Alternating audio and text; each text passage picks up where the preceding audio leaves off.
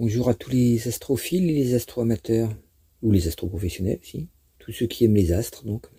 Nous allons, comme promis, faire un petit voyage un peu plus euh, ésotérique, un peu plus profond que d'habitude. je vais survoler euh, la pleine lune euh, qui aura lieu le, 18 septembre 2024, c'est-à-dire aujourd'hui même, je suis un peu en retard, à 4h35. Et donc, je ne ferai plus les pleines lunes, je les détaillerai plus puisqu'elles sont détaillées en tant qu'épanouissement du processus qui est apparu à la germination de la nouvelle lune. Donc euh, il suffit de vous reporter à la nouvelle lune, vous savez à peu près ce qui se passe. On peut remarquer toutefois que cette pleine lune est exceptionnelle dans le sens qu'elle contient euh, des aspects magnifiques. Elle a lieu en poisson euh, exactement entre Saturne rétrograde et Neptune, rétrograde, donc tous les deux. Bah, forcément, ils sont rétrogrades puisqu'ils sont en face du Soleil. C'est une règle, ça. Quand c'est au face du Soleil, les planètes euh, lentes sont rétrogrades. Et donc, euh, on a le signe du poisson. Quand on dit la pleine lune de la Vierge, on veut dire que c'est la pleine lune qui a lieu pendant que le Soleil est dans le signe de la Vierge. Et donc, cette pleine lune a lieu en poisson.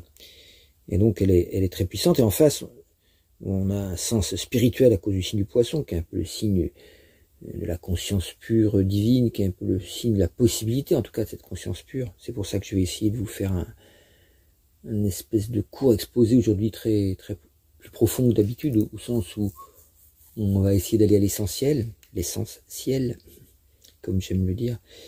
Et donc le, poisson étant ce signe un peu cosmique, quoi, du, du, Père Cosmos, et la Vierge étant le signe de la, de la mère Terre ou, ou de la mère Shakti, comme disait saint c'est-à-dire la, l'énergie, l'énergie qui, qui est présente dans toute la création.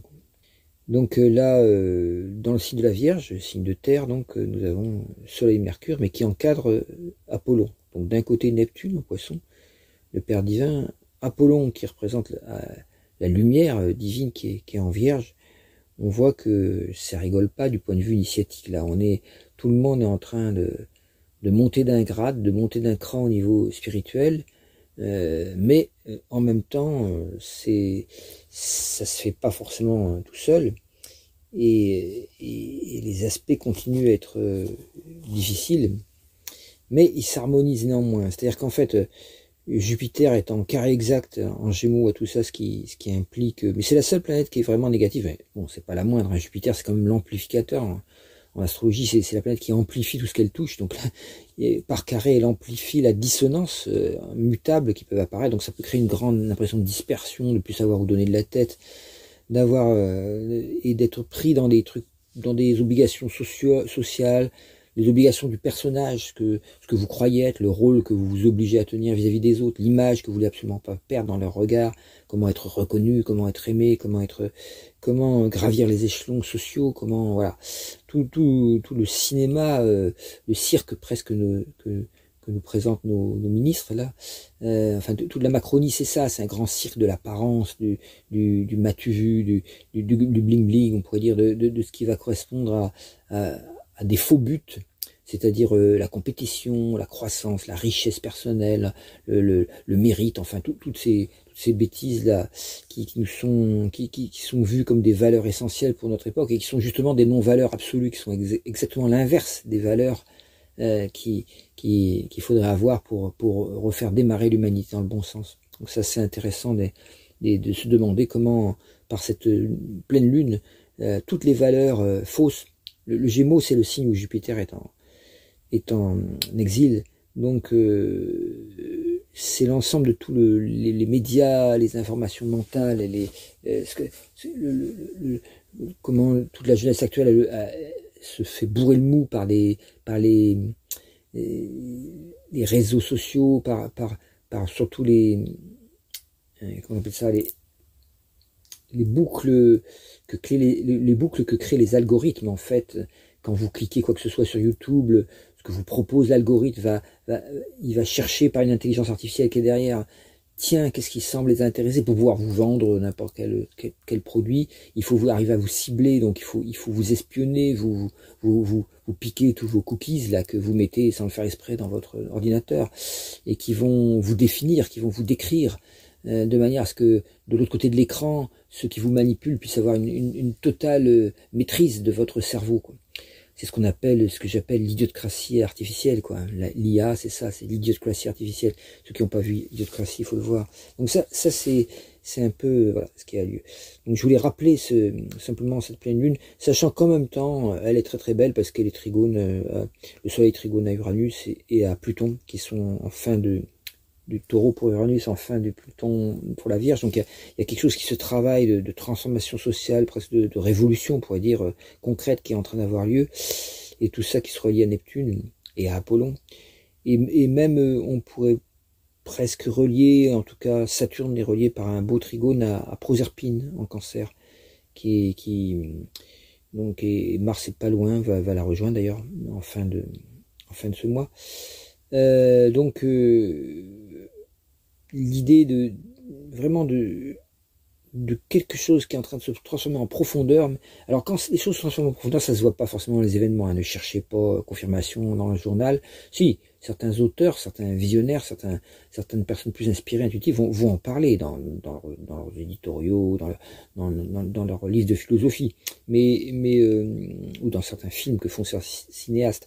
Mais disons que voilà, de toute façon, si c'est un film, vous le verrez pas, il sortira que dans un an. Enfin, ce qui est fait en ce moment est extrêmement initiatique, extrêmement puissant. Et, peut, porter à, nous faire découvrir une autre manière de voir euh, l'évolution de l'humanité, parce que pour l'instant, la vision que l'on a tous est bien triste, puisqu'elle est, complètement limitée, arrêtée euh, par la vision de la destruction de la planète qui, est bel et bien commencée à toute vitesse par, euh, le changement climatique, par, mais pas, que par le changement climatique, dont on nous rabat les oreilles pour tout réduire à l'histoire de CO2, tout ça pour mieux nous vendre du nucléaire, alors qu'en fait, le, vrai, le, vrai problème, c'est l'écologie en elle-même, c'est-à-dire comment on est en train de détruire la planète par, par l'attrait de l'argent plutôt que l'intérêt pour l'humain. Ce qu'on appelle les intérêts actuellement, c'est pas ce qui est intéressant, parce que la racine du mot intérêt. Euh, non, non, c'est pas ce qui est c'est ce qui va intéresser au sens bas du terme, c'est-à-dire ce qui va faire du fric. Quoi. Donc Jupiter en Gémeaux, c'est aussi ça, c'est l'attrait superficiel pour euh, l'évolution, l'épanouissement par le fric. Encore le fric, toujours le fric. Donc ça, ça va devenir vraiment évident euh, ce mois-ci. Là, cette pleine lune va nous mettre en évidence l'incroyable avidité de pouvoir, d'argent qu'ont les, les politiques, les firmes, les, les trusts, les lobbies, et, comment ils sont en train de, de, de, détruire même profondément tout, tout ce que la société humaine pourrait avoir d'intéressant, d'évolutif. Donc je passe là rapidement là-dessus, puisque bon, mais, mais les, aspects sont, sont vraiment, c'est vraiment ce qu'on appelle un cerf-volant. Euh, qui a lieu dans le ciel, c'est pas que le cerveau est lent, hein, c'est pas ça, c'est le dessin d'un un cerf-volant exactement qui a lieu dans le ciel entre le, le, poisson, taureau, capricorne et, vierge. Donc beaucoup de signes féminins, donc ça va se passer à l'intérieur. Hein. Donc je recommande vraiment fortement de beaucoup méditer, parce que c'est en méditant beaucoup qu'on peut vraiment voir cette transformation très rapide, des espèces de, de, de libération de la psyché, l'espèce de nettoyage au karcher de l'inconscient, les, les, les, traumas, les, les, tout, ce qui, tout ce qui flotte encore dans, euh, dans, dans, dans, notre inconscient va apparaître à la surface. Et, et c'est le moment de se rappeler, bah, qu'est-ce qu'on fout sur Terre, quoi? Quel est le but de notre incarnation? Quel, quel, est le sens de la vie? Parce que si ces traumas ressortent du fond de l'inconscient, c'est pour que nous les libérions, c'est pour que nous les conscientisions, pour que nous les voyions. Et en les voyant, calmement, profondément, en les accueillant, en, les, en disant, OK, j'ai le droit de contenir ça, et je l'accueille, et je regarde et je conscientise.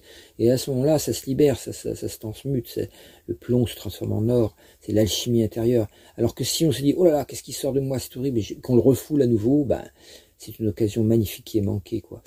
Et ces refoulements vont organiser évidemment du ressentiment.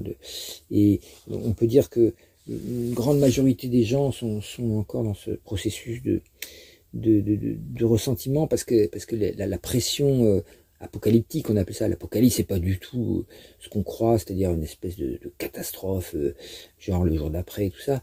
Bien que ça contienne ces événements-là, bien sûr, bien sûr, à grande échelle, on voit bien que la Terre est en colère et se met en colère partout. Les quatre éléments, le feu, la terre, l'air et l'eau sont, et les terres également, sont, tous très très secoués. Hein. voilà, le, le, la, terre, c'est tout ce les saloperies avec lesquelles on empoisonne pour pour l'agro, l'agrochimie qui, qui empoisonne l'agriculture et qui fait que voilà, l'eau, l'eau est empoisonnée aussi. C'est tout ce qui fait que notre alimentation également n'est pas saine. Elle est bourrée de, petits, à la place des micronutriments et des vitamines, on les remplace par des, des additifs alimentaires, des, produits colorants, des tas de saloperies, on peut dire, de conservateurs qui vont abîmer en profondeur notre et puis qui vont tuer surtout la, valeur des aliments. Hein. C'est des aliments morts après. Tous les produits transformés sont des aliments morts, hein. les, farines, le pain blanc, tout ça, c'est des, aliments qui contiennent plus aucune vie. Et puis la pollution de l'air, c'est c'est évidemment bah, le fameux CO2 là qui fait qu'on va on étouffe et puis ça change les climats surtout ça, ça modifie tous les climats. Et la pollution du feu bah, c'est le nucléaire. Donc en quoi le nucléaire est une réponse au changement climatique? Bah non puisque c'est une autre pollution. Beaucoup plus dangereuse celle-là qui peut détruire même la nature même de la vie. Euh, on a les OGM aussi qui sont une manière de modifier la terre aussi hein, qui sont entre le feu et la terre c'est-à-dire quelque chose qui modifie la structure même du vivant, dans les OGM, l'ARN messager qui est contenu dans certains vaccins, etc. Tout ça, tout ça, c'est des, des, des, modifications, euh, des mutations des cellules. Et donc, euh, euh, on joue aux apprentis sorciers complètement, quoi, en, tripotant le génome sans savoir qu'il a une structure énergétique profonde. C'est-à-dire que, voilà, qu'est-ce que, qu'est-ce que fait le nucléaire? C'est qu'il ou, les OGM, c'est qu'ils détruisent la structure profonde de la vie, mais, sans retour possible en arrière, ce qui fait que quand quelqu'un reçoit euh, une, irradiation ou une injection de quelque chose qui contient ces produits-là, bon bah évidemment, euh, c'est du très long terme les effets, mais, mais ou même du, court terme quelquefois pour certains qui font des, enfin qui ont des effets euh, létaux, enfin mortels, ça veut dire euh, immédiats. Mais, euh, mais euh, pour beaucoup d'autres, ça va être des, des, des, des maladies euh, auto-immunes, des, processus de, de, dégradation de l'immunité qui vont apparaître, des apparitions de certains virus qui sont le moyen que le corps essaye de se nettoyer, et ces virus vont, vont apparaître pour nettoyer le corps, mais ils vont nous envahir tellement qu'il va y avoir inflammation, tout ça, des maladies graves, les cancers, tout ça. Donc toutes les maladies de dégénérescence de notre époque sont des maladies qui sont dues à cette déconnexion, à ces et la cinquième pollution qu'il faut pas oublier, les ondes électromagnétiques qui, qui, nous, qui sont vendues avec les portables, les, les antennes, tout ça comme totalement inoffensives, alors que c'est complètement faux puisque 80% des études euh, indépendantes, parce que des académies de sciences, de Suisse, de Finlande, euh, il n'y a pas d'Académie des sciences européenne qui le fait, bizarrement. C'est comme si l'Europe était prise dans un, dans un réseau de, contraintes qui fait qu'il n'y a pas d'argent donné pour étudier ces choses-là, sauf l'argent donné par les lobbies eux-mêmes. Donc l'Europe est complètement pervertie euh, par les, la mafia des lobbies, ce qui fait que ceux qui font les études sur l'impact les, les, électromagnétiques sont ceux-là même qui les vendent. Cherchez l'erreur. Alors évidemment, ils trouvent rien. Donc 80% des études, quand elles sont indépendantes, prouvent que c'est dangereux pour la santé, qu'il faudrait vraiment faire d'énormes précautions, qui sont pas du tout prises, hein, pas du tout. Les EHS sont un peu les, victimes de, bah de, ces mafias, quoi, qui sont des, qui sont des, des, lobbies qui sont unis avec, euh, comme dans la, comme la Commission européenne, des, des unions euh, euh, bah, mauvaises entre des lobbies d'un côté et des, et des systèmes politiques de l'autre. Alors que la, la, politique, les États sont là pour protéger les plus faibles, les plus puissants, et non pas s'unir avec les puissants. Bon, là, on est, on est loin du code d'Amourabi il y a 3000 ans qui, nous disait que l'État venait, les, lois venaient pour protéger les, les faibles et puissants. Enfin, on a encore une magistrature qui est de temps en temps indépendante des pouvoirs politiques, et heureusement, mais euh, dans la plupart des pays du monde qui suivent le modèle poutinien, il n'y a plus aucun espace euh, de liberté entre la magistrature et le, politique, c'est-à-dire qu'en fait, euh, ils sont unis dans une même désir de contrôler totalement les citoyens et les asservir. Soit en Chine ou en, Russie ou dans tous les pays qui ont été sous prétexte de les sortir de la pauvreté par des par certains financements ou par certaines révoltes, financement par les Chinois, révolte par les par les Russes, par les, petits bonhommes verts de Wagner, ben on installe petit à petit des fascismes partout dans le monde, comme l'avait fait sur un autre modèle avant les Américains, quand ils ont transformé toute l'Amérique du Sud en leur, chasse gardée, et comme l'avaient fait avant les Européens avec les colonies, les, joyeuses colonies, le bon temps des colonies, comme chantait Michel Sardou. Voilà. Donc tout, ça, c'est une histoire de l'asservissement humain qu'il est intéressant de rappeler et qui qu'il faut, qu'il faut bien comprendre pour voir euh, c'est toutes ces pollutions. Voilà, je vais fermer cette parenthèse. Alors pourquoi la pollution? Parce que la Vierge, c'est vraiment le signe qui parle de la protection de la Terre. Or, la, si on ne protège pas la Terre, si on ne protège pas l'écologie, c'est l'humanité qu'on est tout, simplement en train de détruire. Einstein disait le jour où les abeilles disparaîtront, euh, ben, le fin de l'humanité se rapproche. Pourquoi? Parce que les légumes, les fruits, tout ça ne poussent que par pollinisation et que si on est en train de détruire euh, ces animaux-là qui sont tout petits, bah, on, scie la branche sur laquelle on est assis. Et une fois que la branche est tombée par terre, c'est trop tard pour la recoller. C'est pareil que pour un arbre, on peut recoller une branche C'est impossible. Donc attention à de bien défendre la terre. Alors il y a les soulèvements de la terre, des, des, des, comme ça, des organes associatifs qui, qui se créent pour vraiment dire aux gens, mais levez-vous, dépêchez-vous de vous, de vous mettre en colère sur les choses essentielles. Bien sûr, il y a une violence policière qui est terrible en face. Quand vous voyez l'histoire de la 69, mais c'est terrible. Euh, vous, vous, euh, vous, pouvez aller sur le site, comment il s'appelle déjà? C'est pas faites, faites, circuler, faites passer? Bon, je sais plus. Enfin, c'est un site qui, qui reproduit les, ce qui se passe avec la 69. Euh, bah, je peux vous conseiller donc euh, donc la Vierge, c'est ça, l'écologie, et donc euh, euh, ça peut parler aussi euh, la Vierge de, de quelque chose d'essentiel dans l'humanité, c'est comment le féminin, la forme, la matière, c'est aussi l'intelligence. Et, alors que la conscience pure peut être liée au masculin, au Père divin. Mais il n'y a pas de conscience pure s'il n'y a pas l'intelligence avant. C'est-à-dire que bien que les hindous ou les, ou les bouddhistes nous disent qu'on doit atteindre la conscience pure, en se libérant du mental, on peut comprendre, ce que nous dit l'ésotérisme, la gnose, l'ésotérisme chrétien aussi, ils nous disent que sans la création du mental l'intelligence, tout ça n'existerait pas. Les voies initiatiques n'existeraient pas. Donc qu'une voie initiatique nous dise libérez-vous du mental, bien sûr, mais libérez-vous du mental par le surmental, par quelque chose qui est au-delà du mental et non pas en deçà du mental. Euh, l'idiotie ou l'imbécilité n'a jamais aidé personne à, s'éveiller. Donc il faut bien comprendre qu'il y a une évolution de l'intelligence. C'est ça qu'on va essayer de voir aujourd'hui. C'est ça que je veux dire, euh, les, symboles de la mère divine qui sont extrêmement complexes. On les trouve partout dans toutes les civilisations. On a la femme bison blanche et chez les Sioux, on a les Indiens Lakota, tout ça. Euh, on a, euh, si vous voulez, une trinité, si vous voulez, Ève, Isis et Marie, que dans, dans, dans toutes les, mythologies occidentales, quoi. Ève, la, la, première femme, soi-disant la première femme de l'humanité qu'on enfin, qu'on voit dans la Bible, qui est, évidemment c'est le symbole de tout le, de tout le féminin, mais si on fait euh, Yévé, le nom de, de Yahvé, le nom de, de Dieu, c'est I, E-V-E, -E, euh, voilà, Yod, v -A, Yod e Vaoe, si on prononce selon les écritures hébraïques, et ça, ça veut dire qu'il y a un Yod qui est le plan divin, qui est le Père divin en fait, le, le I suprême qui on trouve dans intuition, idée, idéal, etc. Euh, et, initiation. Le I divin qui est accolé à Ève. Ève, c'est l'énergie. V, comme une vallée, on descend la vallée, l'incarnation. Et, E, on remonte avec une autre énergie. En fait, toute l'histoire de l'incarnation, c'est ça. On arrive avec un karma, c'est le E, là, une énergie, et il va falloir le vivre, comme le V de vivre, dans, dans le V, et on, remonte avec une nouvelle énergie transmutée, transformée, alchimisée de l'autre côté, qui, qui, contient plus de conscience, plus d'intelligence, et puis on va se réincarner à nouveau de vie en vie euh, pour aller vers le, le, le i de divin, c'est-à-dire sur ce point sur le i, c'est le point, c'est le un point, c'est tout, quoi, c'est le, le, point divin. Bon, voilà, tout ça, c'est des images un peu kabbalistiques qui vous permettent de comprendre ce que veut dire vraiment euh, le, sens caché de la Bible. Et donc, euh, Ève, c'est ça. Et on voit bien que du coup, il ne représente pas la femme, ni, ni toute l'histoire qu'ont raconté les, les cathos, ou même les hébreux. Hein, les, les, juifs aussi ont raconté la même histoire, avec une espèce de culpabilisation de, de la femme, alors que l'homme serait serait serait pas pris là-dedans lui comme par exemple parce que c'est pas de sa faute c'est Ève qui lui a fait manger la pomme enfin non non la pomme l'arbre de la connaissance du bien et du mal ça dit bien ce que ça dit il s'agit de on parle d'intelligence on parle de l'évolution de l'intelligence vers la conscience.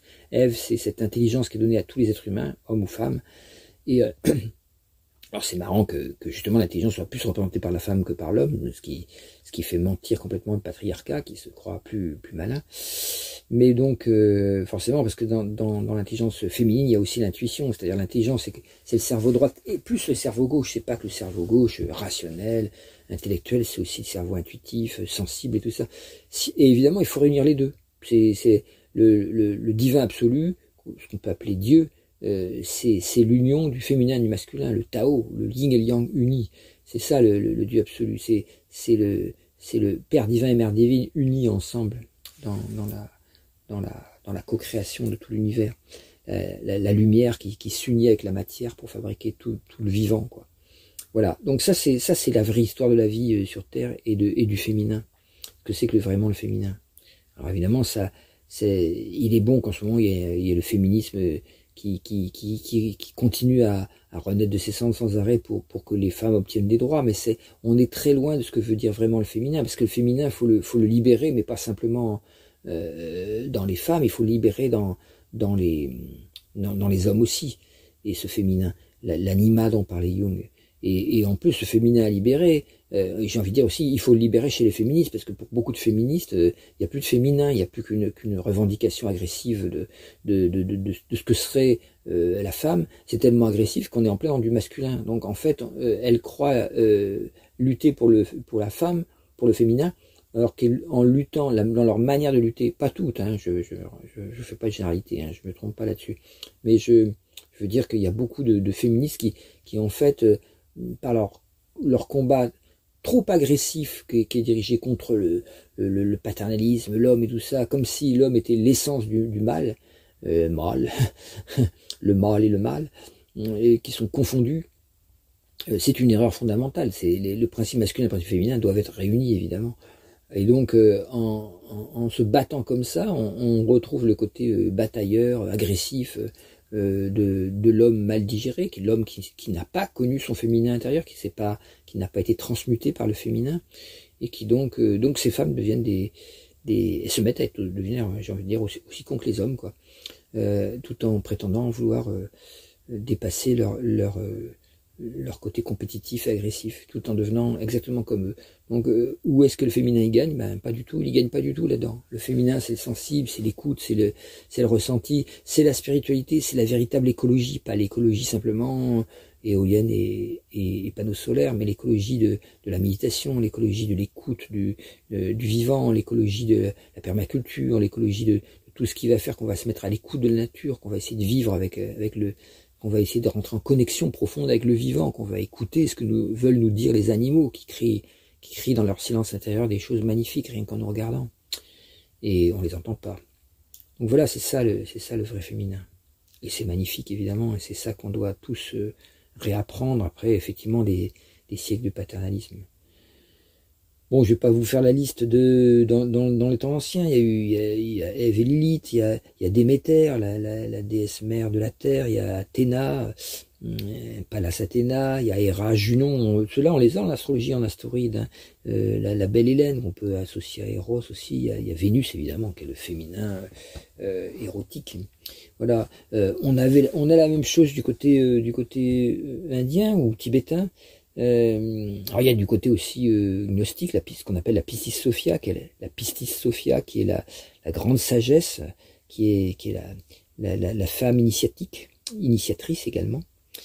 Et euh, alors on va trouver des les 22 taras ou, ou les shakti, euh, du 22 taras du côté tibétain ou les shakti.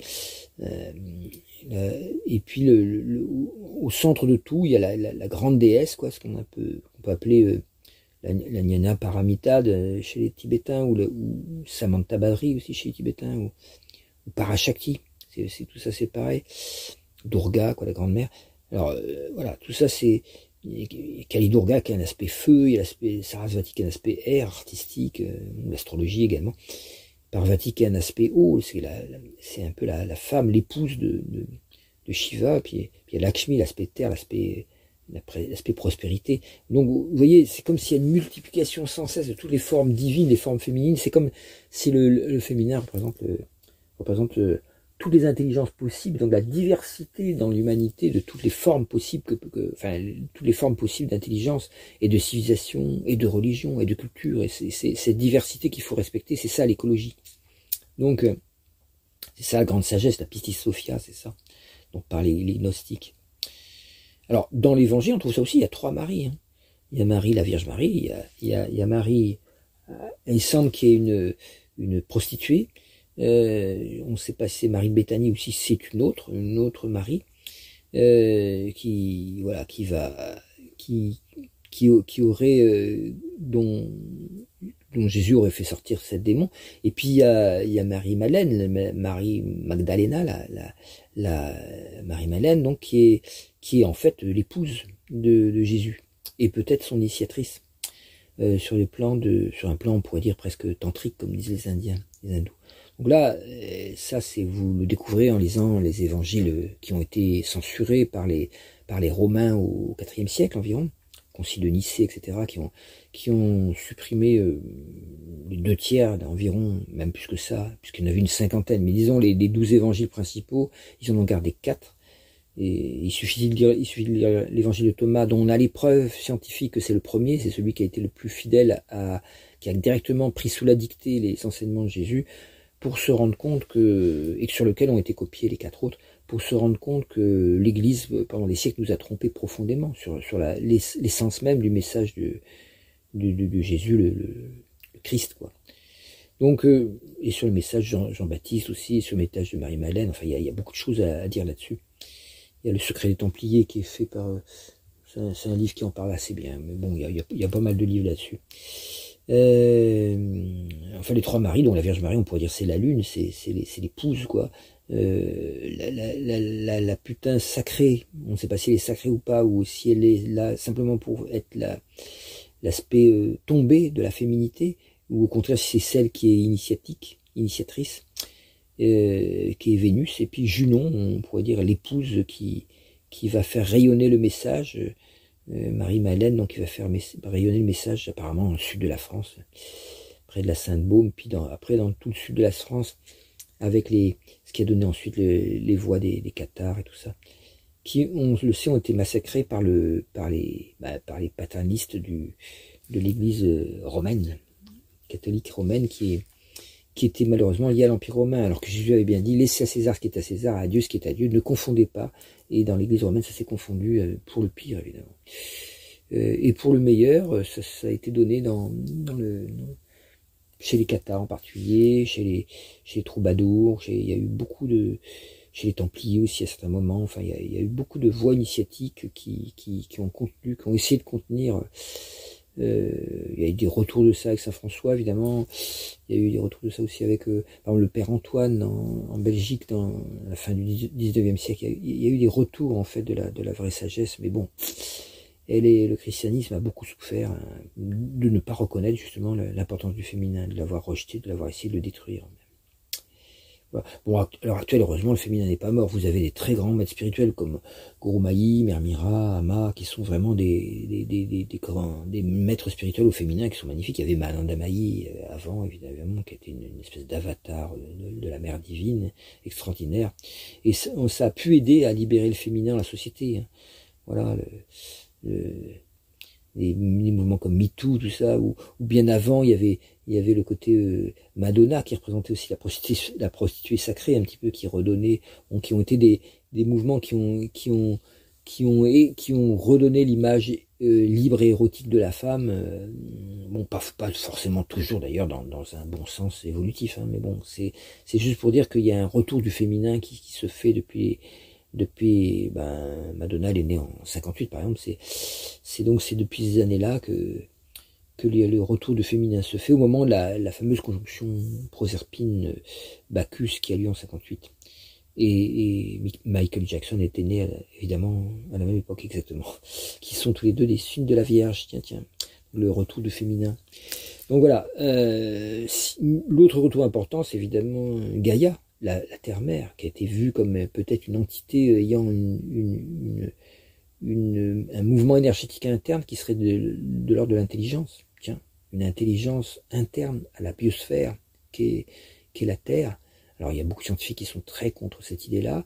Puis en fait, quand on la creuse, comme l'avait fait James Lovelock avec l'hypothèse Gaïa, on s'aperçoit que la vie est beaucoup plus complexe qu'on ne le croit. Elle se résume pas à ce que les biochimistes ont repéré dans le corps humain, mais il semblerait que, on pourrait dire par exemple que l'Internet est une espèce de système nerveux qu'a créé l'humanité, un nouveau système nerveux, alors qui est matériel celui-là, et il y aurait derrière un système énergétique euh, euh, qui, est, qui, serait, qui serait le système des Shakti, justement des énergies, et qui est en train de monter au fur et à mesure que de plus en plus de gens se mettent à méditer et créent ce, ce, cet autre système nerveux, enfin, que le système des nadis, le système énergétique, et qu'on aurait un corps, euh, un corps de l'humanité et de la planète Terre qui, qui vibrerait ensemble nous faire monter en énergie. Mais pour ça, il faut pas détruire la planète qui nous fait monter en énergie.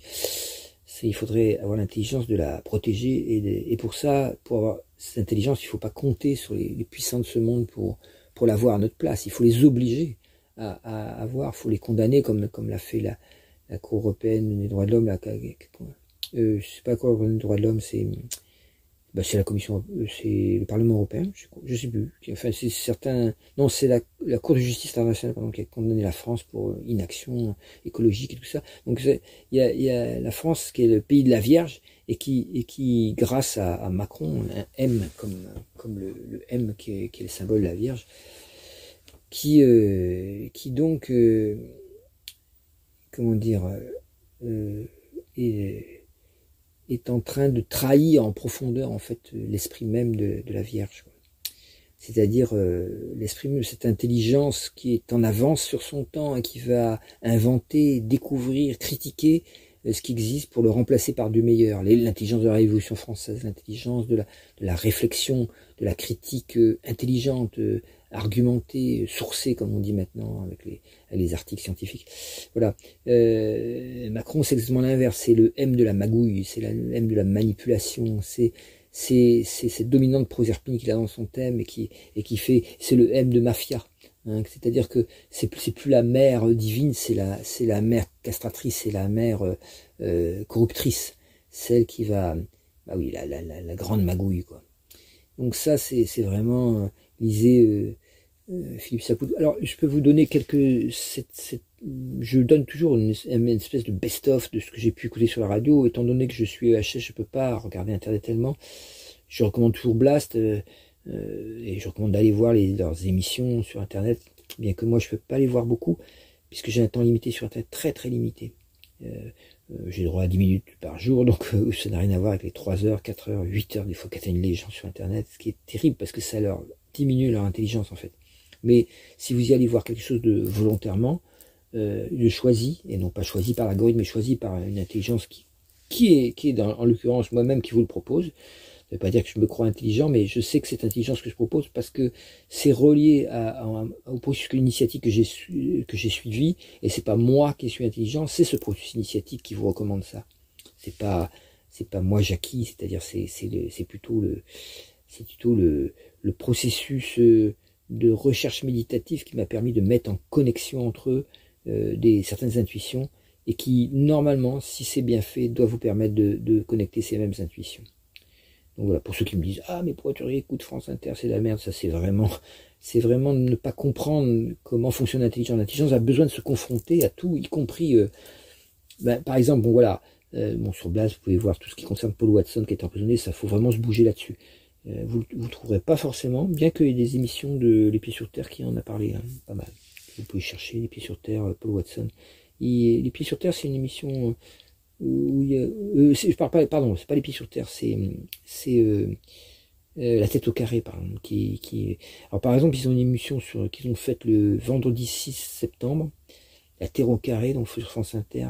Ils ont parlé de Bloom et avec Claire Nouvian. C'est absolument génial. Je vous recommande vraiment de, de l'écouter. Voilà une personne qui a vraiment compris comment ça fonctionne. Je ne sais pas si elle médite, je sais pas les infos là-dessus, mais vraiment, elle a, en tout cas, elle se bat pour quelque chose de vraiment très valable. Et, et voilà des personnes qui peuvent nous viand, c'est, comme le, le, nouvel, le nouvel âge. Elle amène vraiment le nouveau en incarnation, comme disait le, le, euh, le bouquin euh, Dialogue avec l'ange, qui est euh, qui était un, un avec des, des, anges de très haute vibration spirituelle elle demande un coup, Guitamala se demande quel est le nom de l'ange, et, l'ange répond le nom de l'ange est nouveau. Tout ce qui est nouveau, tout ce qui va nous permettre de sortir, c'est pas le nouveau au sens commercial du terme, nouveau, euh, moins 20%, enfin bref, tout ça c'est la connerie, mais c'est le nouveau, qu'est-ce qui nous fait sortir justement de l'ancien, du répétitif, du conditionné, du système en fait, c'est ça qui est, le nom de l'ange. Donc suivez cet ange-là, nous vient, Claire en plus le prénom, elle est claire. Euh, il y a donc euh, l'émission Les Pieds sur Terre dont je parlais aussi. Euh, bah, vous avez deux, elle a lieu sur France Culture. Il y en a une qui est du 16 septembre. Elle a lieu à 13h30 sur France Culture. Il y a eu des incendies criminels sur la, sur la 69. C'est très intéressant à écouter pour voir qui nous gouverne et où est-ce qu'on en est. Et qui sont ces gens, par qui sont-ils commandités. C'est incroyable le, le, taux de, comment dire, de mafia qu'on est en train d'atteindre au niveau de nos gouvernants eux-mêmes et de ceux avec qui ils travaillent et qu'ils défendent. C'est vraiment très très instructif. Encore une fois, c'est pas parce que c'est sur France Culture que vous allez avoir la radio mainstream. Ce n'est pas vrai. Ceux qui disent ça sont dans une caricature euh, peu intelligente en fait. Il y, a, il y a certaines émissions comme ça qui sont qui sont d'une intelligence simple. Et c'est pas, ils, ils, prétendent pas euh, débunker ceci ou débunker cela. Ils disent simplement les faits. Regardez les faits, regardez ce qui se passe, regardez ce que disent les gens, comment ils, comment défendent l'indéfendable et tout ça. Simplement regardez. Et là, c'est instructif. Le 17 septembre, le lendemain, vous avez une taupe chez les stupes. si j'ai appelé ça comme ça, mais c'est pas titre de l'émission. Euh, les pieds sur terre, pareil. Là aussi, c'était vraiment pour comprendre comment comment fonctionnent vraiment les gens qui nous gouvernent, c'est c'est vraiment exemplaire quoi. Il n'y a pas besoin de commentaires là-dessus. C'est c'est génial. Quoi. Une autre émission, c'est qui va vous permettre, lui par contre, d'analyser en profondeur le système. Ben, c'est une émission qui est faite par un, un journaliste qui a, qui, a, qui a, été un peu dans le média mainstream à fond la caisse, dans, la matinale, quoi, et qui, crée une émission de lui-même qui s'appelle Enquête de politique, qui est le sur, qui était dimanche 15 septembre à, vers 18h11 euh, d'après, sur France Inter. Et là, ça parle du macronisme et de l'extrême centre. Là aussi, génial, parce que vous avez la confrontation entre une macroniste euh, qui veut tempérer et les propos de quelqu'un qui montre un, historien ou anthropologue, ou sociologue, oui, un sociologue plutôt, je crois, qui démonte point par point le système euh, de, la Macronie et montre en quoi c'est un gravissime dérapage vers, une dictature et là, c'est magistral. Et l'autre en face, oui, oui, bon, bah non, faut, faut pas exagérer, restons gentils, restons modérés. Elle représente en face finalement la, personne qui, qui s'est fait vraiment rouler dans la farine et qui a voté Macron pour faire barrage, comme toujours pareil, et qui du coup, comme elle a voté, elle a du mal à revenir, elle a du mal à croire à quel point elle s'est trompée, à quel point elle s'est trompée sur la valeur morale, la, valeur spirituelle de, cet homme-là, de ce qu'il prétend, du, projet novateur, qui, la révolution qui commence à, qui, qui c'est le titre de son bouquin, révolution, qui prétendait apporter, qui est en fait une véritable régression très très profonde de, de tout l'esprit de la France, de, de, de qui, qui, qui, est le, qui est le, un, un melting pot, un espèce de, de méli-mélo, de Macédoine. De, de, de, il y a des morceaux de Napoléon, des morceaux de Napoléon III, des morceaux de, de Philippe le Bel, des morceaux de De Gaulle, des morceaux de Pétain, tout ça, touillé, touillé, remué, c'est prêt. Quoi. Voilà ce que c'est Macron. C'est vraiment une, euh, tout ce qu'il y a de pire dans tous ces grands gouvernants. Il, il croit le, le le mimer, comme le singer presque, pour, euh, pour se créer une posture, et, alors que c'est quelqu'un qui, est profondément creux et dangereux, parce qu'il est en train d'abîmer en profondeur notre pays. Qui est un pays qui est, dont il, méconnaît totalement les valeurs profondes, tellement il est, il est disjoncté de la base, disjoncté de... C'est un pays peuple, la France, c'est pas un pays bleu, blanc, rouge, nationaliste. On peut en faire ça, malheureusement. Dans ce cas-là, on va tout droit vers le fascisme qu'a qu qu connu l'Allemagne et l'Italie on peut, on peut avec 84 euh, ans de retard euh, faire la même chose, pourquoi pas Quelle bonne idée On n'a jamais essayé, comme dit certains. Voilà. Donc, euh, et puis, dernière mission à voir aussi, euh, c'est l'affaire sensible, ça a lieu le, sur France Inter le samedi, elle a eu lieu samedi 14 septembre à 15h04. Bon, c'était sur euh, Moras, Action française. Si vous voulez vous intéresser à l'extrême droite, l'histoire de l'extrême droite, c'est toujours très instructif. L'autre qui est très intéressante, que j'ai beaucoup aimé surtout, c'est celle le 16 septembre à, 15h04, qui rappelle, bon, ben, un vécu déjà, quelque chose que seulement les, les Nantais comme moi connaissent bien. Euh, c'est l'histoire de la ZAD de Notre-Dame-des-Landes, mais ça fait beaucoup bien de réapprendre toute l'histoire, comment ça s'est passé, pourquoi, parce que c'est, bon, ben voilà, c'est instructif. Voilà, voilà ce que je voulais vous rappeler. Euh, alors, on va essayer de, de, démarrer ce que je voulais faire. Euh, je vais vous présenter les sept niveaux de conscience humaine et je les approfondirai peut-être dans un prochain, dans poste parce que c'est euh, quand on fait l'astrologie, on ne parle pas de ça. Très souvent, les astrologues se rendent pas compte qu'en fait, ils ont un rôle initiatique par rapport à leur consultant qui vient les voir. Et euh, donc j'ai formé pas mal d'astrologues dans ma vie, et donc euh, euh, et, et j'ai souvent été amené à former des gens qui avaient fait partie d'écoles d'astrologie classique, si vous voulez. Et en fait, il y a, y, a y a un blanc, il y a un trou noir, un, trou noir qui est troublant, on va dire, dans l'enseignement d'astrologie, qui est qu'on oublie que, que l'astrologue est un, a un rôle initiatique presque, un rôle d'élévation de l'âme de la personne et non pas de faire, la de faire la psychologie à partir du thème. Parce que pour la psychologie, allez voir un psychologue, parler de vos émotions et ça sera très bien. Pourquoi l'astropsychologie est en train de se réduire à de la psychologie alors qu'en fait l'astrologie est bien supérieure à la psychologie en tant qu'outil thérapeutique euh, même. Donc, euh, mais pour ça, il faut, il faut admettre cette dimension euh, supérieure, cette dimension, j'ai envie de dire, initiatique. Et ça, je vais vous en parler parce que, et si vous aimez l'astrologie, vous allez, j'espère, apprécier parce que c'est vraiment. Alors c'est rarement dit, pourquoi? Parce que c'est parce que c'est très difficile à, décrire. J'espère que je vais me planter en le décrivant parce que ça peut être très très vite mal compris. C'était, on marche, je vais, je marche sur des œufs en vous révélant ça. Bon, évidemment, euh, quand, dans mes cours, je l'enseignais, mais comme ça à mettre sur YouTube, c'est très délicat parce que c'est très vite ça peut être mal compris, interprété.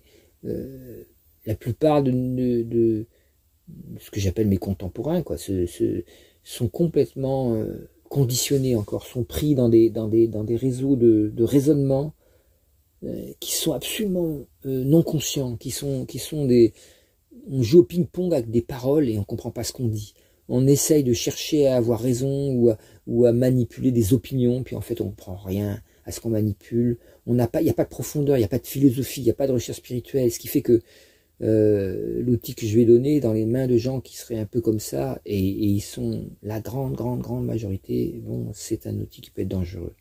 C'est pour ça que je donne pas souvent. Donc ceux qui ont pour intérêt de prendre un pouvoir sur les autres, ça, ben fermez, fermez l'enregistrement et allez voir ailleurs. Euh, c'est pas pour vous. Euh, pour ceux qui recherchent vraiment la, connaissance de soi et l'évolution, alors bon ben restez parce que là vous allez vraiment avoir une ben, un petit voyage intéressant.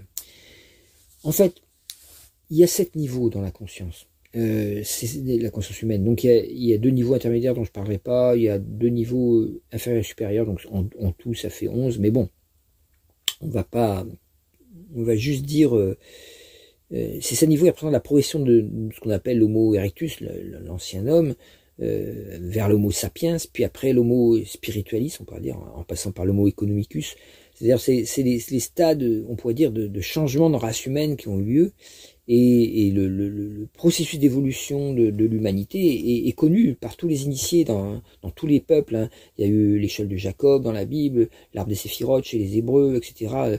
Tous les ésotérismes, on, trouve euh, l'enseignement d'une espèce euh, de, progression par étapes évolutives successives euh, qui, vont, intégrer de manière holistique tous nos cheminements, qu'ils soient physiques, émotionnels, mentaux, spirituels, pour, pour, pour chaque être humain, mais aussi pour toutes les civilisations. Donc c'est un processus en fait qui fait qui part de l'ego de survie, de peur, hein, cet ego qui est en nous, dans tout un chacun, qui nous fait passer par le moi, le moi social, euh, qui, qui, qui, détermine l'indépendance, euh, c'est le moi adulte on va dire, puis petit à petit qui va monter vers, vers, vers l'âme, hein, et, puis euh, pour finir vers, vers, vers, le soi dans l'unité. Donc l'âme qui est un processus de, de, conscience plus élaboré, quoi, plus ce que, ce que Jung appelait l'individuation. Donc ces, ces, quatre, euh, euh, ces quatre étapes en fait sont, sont sept, puisque ces quatre, étages sont reliés par trois escaliers. Donc si vous comptez un étage, un escalier, un étage, un escalier, vous avez sept niveaux. Donc voilà, si vous voulez le dessiner en même temps, vous allez comprendre. Alors ils sont faciles à dessiner, ces sept niveaux, puisqu'on va les retrouver. Euh, ils ont été inscrits dans le calendrier du temps humain depuis très longtemps, depuis environ 5000 ans, et ça n'a jamais bougé. Et vous ignorez que c'est ça. Euh, c'est quelque chose de tellement universel qui est utilisé dans le monde entier actuellement. C'est un, un, une initiatique qui est utilisée dans le monde entier, mais vous savez pas qu'initiatique parce que vous l'utilisez comme un calendrier. Et vous n'avez pas vu que c'est initiatique. Alors je parle pas des 12 mois de l'année, ça c'est les zodiaques, et, euh, ils sont plus trop reliés au mois de l'année. Mais on va, ils vont, ça, va tout simplement être sous la forme de, bah de lundi, mardi, mercredi, jeudi, vendredi, samedi, dimanche. Qu'est-ce que c'est lundi?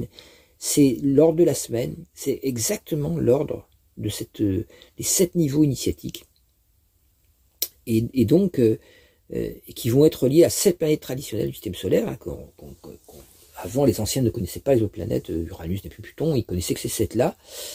Et donc lundi c'est la Lune, mardi c'est Mars, mercredi ben, c'est Mercure, jeudi c'est Jupiter, vendredi c'est Vénus, samedi euh, Saturday, le jour de Saturne, et Sunday, le, dimanche, le jour du soleil. Voilà, donc attention, c'est pas parce que je viens de donner cette planète qu'il faut confondre l'impact psychospirituel, euh, euh, l'impact, comment dire, le côté, le côté émotionnel, psychologique, euh, spirituel des planètes, faut pas le confondre avec ce niveau. C'est-à-dire qu'il faut pas confondre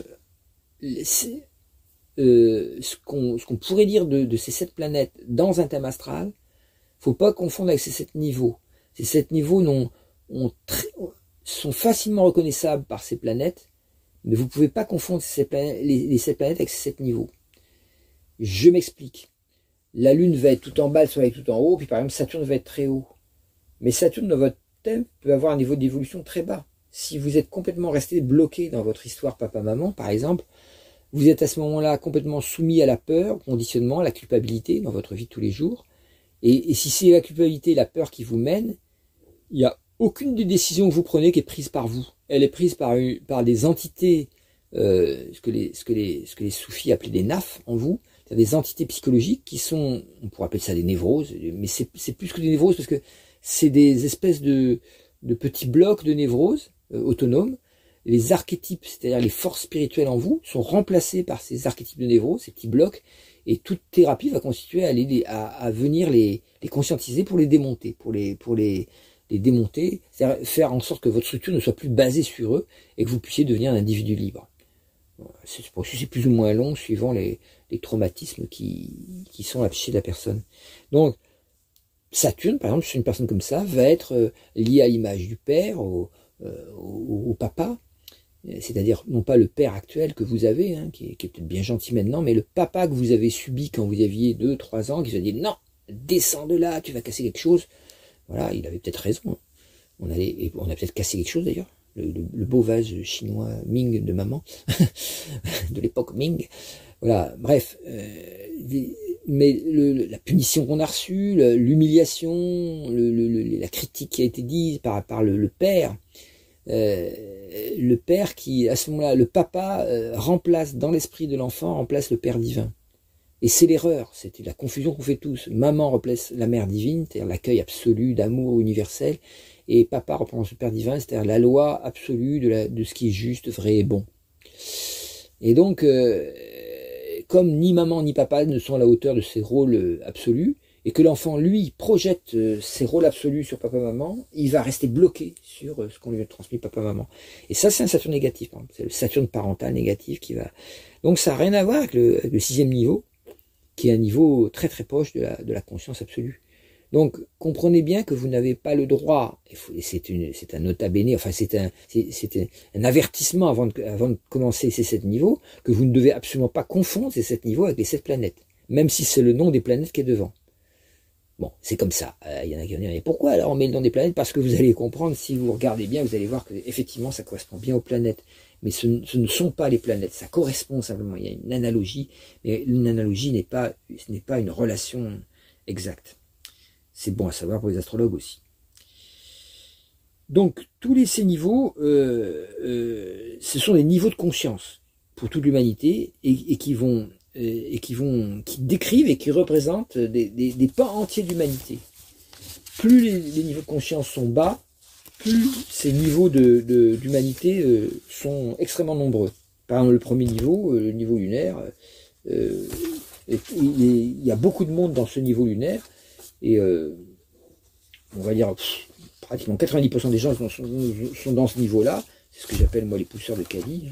Bon, c'est pas méprisant, mais c'est juste euh, voilà, c'est un peu dommage. Il y a des gens qui croient que le but de la vie c'est de bouffer, donc il faut gagner d'argent, donc il faut travailler, donc il faut pour acheter la voiture, pour pouvoir aller travailler, mettre de l'essence dedans et remplir son caddie pour aller au supermarché. Enfin bref, il y a le pour pour et, uniquement dans un but matériel, une espèce de cercle vicieux matériel dans lequel la, personne s'enfonce de plus en plus dans le système et ne se différencie pas du système. Le, bonheur pour elle, c'est quand elle ramène à la maison le grand écran Samsung qui va permettre de regarder les, matchs de foot ou les Jeux Olympiques à la télé. Et là, oh là là, qu'est-ce que c'est beau. Bon voilà, tout, tout ce, toute cette espèce de, de bêtise euh, humaine, normale, crasse, j'ai envie de dire, mais bon, c'est un jugement, donc on va pas le dire, mais néanmoins que c'est pas avec ça qu'on évolue du tout, du tout. quoi. C'est une espèce de... Voilà. Le mieux qui illustre ça, c'est de lire Le Bug Humain de... Ah, j'ai perdu le nom de l'auteur, comme d'habitude. Excusez-moi, j'ai une mémoire à trop. David Boller. Bouf, c'est bon. Donc si vous l'avez pas lu, lisez-le. Il va y représenter exactement ça. C'est les, il représente en quoi, dans le cerveau humain, sont inscrits profondément les besoins de toit, d'abri, de nourriture. J'ai peur de manquer, d'être tué, d'être malade, de souffrir. J'ai peur, j'ai peur, j'ai peur. Voilà. L'insécurité. Et, donc, tant que les questions de survie de base euh, euh, pour l'être humain ne sont pas résolues, hein, qu'il y a des gens encore qui vivent, qui dorment dans la rue, qui sont pas, qui, ou qui n'ont pas de quoi bouffer, qui n'ont pas de toit sur eux, ou des EHS qu'on oblige à vivre dans des, dans des coins où il n'y a rien puisque les antennes envahissent tout. Euh, le monde entier est hostile. Ben voilà, on est, on est, euh, on est euh, à ce moment-là, il y a une, il y a une, la société détruit la nature et, il y a des gens qui vont mourir de ça, soit de cancer, soit d'empoisonnement par des, par des pesticides ou des insecticides, tout ça. Voilà, ça c'est, c'est ce qu'on fait avec le niveau lunaire au niveau négatif. Mais non, évidemment, c'est pas ça. Le vrai niveau lunaire, ben, c'est un niveau de, c'est, on le connaît avec les peuples premiers. C'est-à-dire que si vous remontez à 50 000 ans avant notre ère, tout le monde était les, tout le monde, les peuples premiers, c'était nous tous. C'était, euh, c'est des gens qui écoutent le monde tout en étant en sécurité, ayant une sécurité minimale. Ils n'essaient pas d'avoir plus, ils n'essaient pas de fabriquer plus. Euh, l'intégration dans le monde de la nature va remplacer justement euh, cette angoisse du sentiment de séparation, ce qui fait peur, ce sentiment de, manquer. Le groupe fait communauté.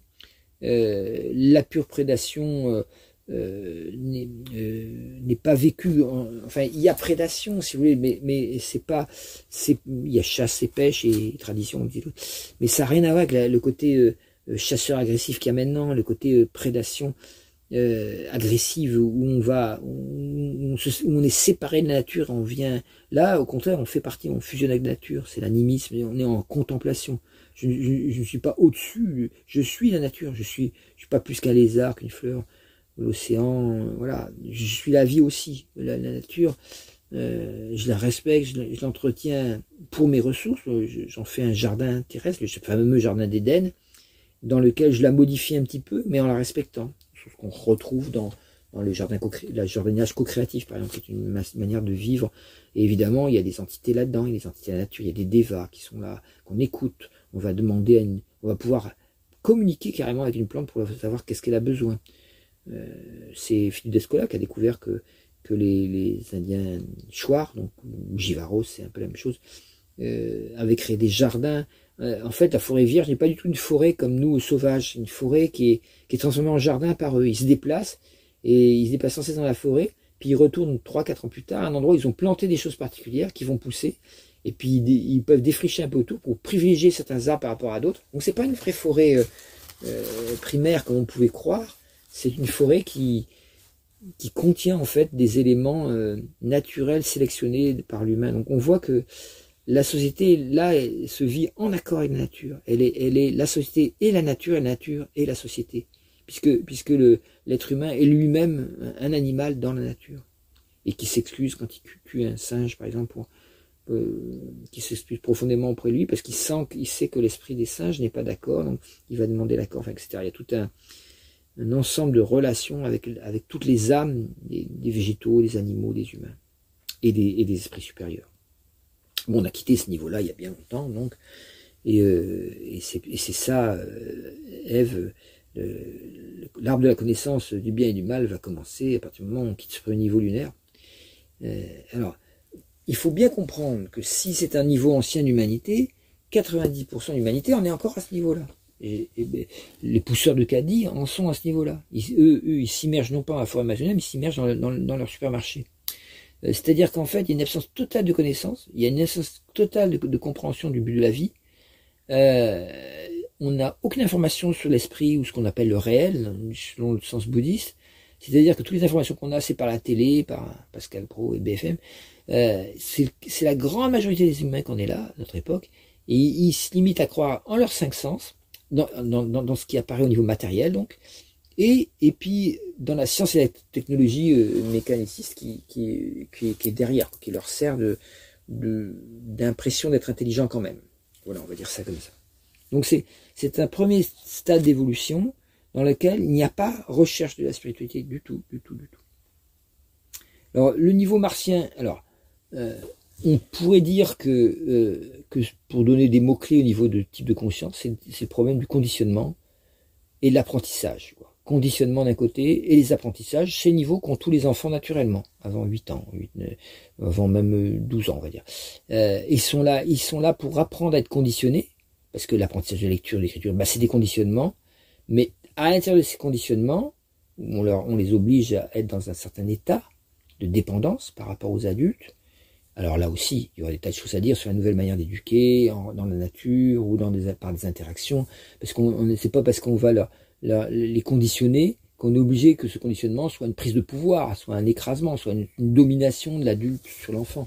On peut faire ça tout à fait autrement. Mais il est évident que s'il n'y a pas conditionnement, on le voit avec l'enfant sauvage, le, film de Truffaut, il y a, une régression terrible de, l'humain vers, vers, l'animal. Et c'est là où on voit que, l'humain est un petit singe, c'est tout. Et c'est une grande souffrance. Hein.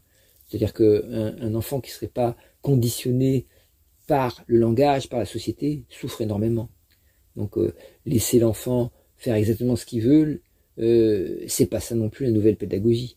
Il s'agit de, de, lui laisser la place pour de rentrer dans le monde du langage. On va voir pourquoi le langage est extrêmement important, mais non pas de faire exactement ce qu'il veut. Ça rime à rien puisque il va toujours vouloir son propre son propre plaisir immédiat et donc régresser.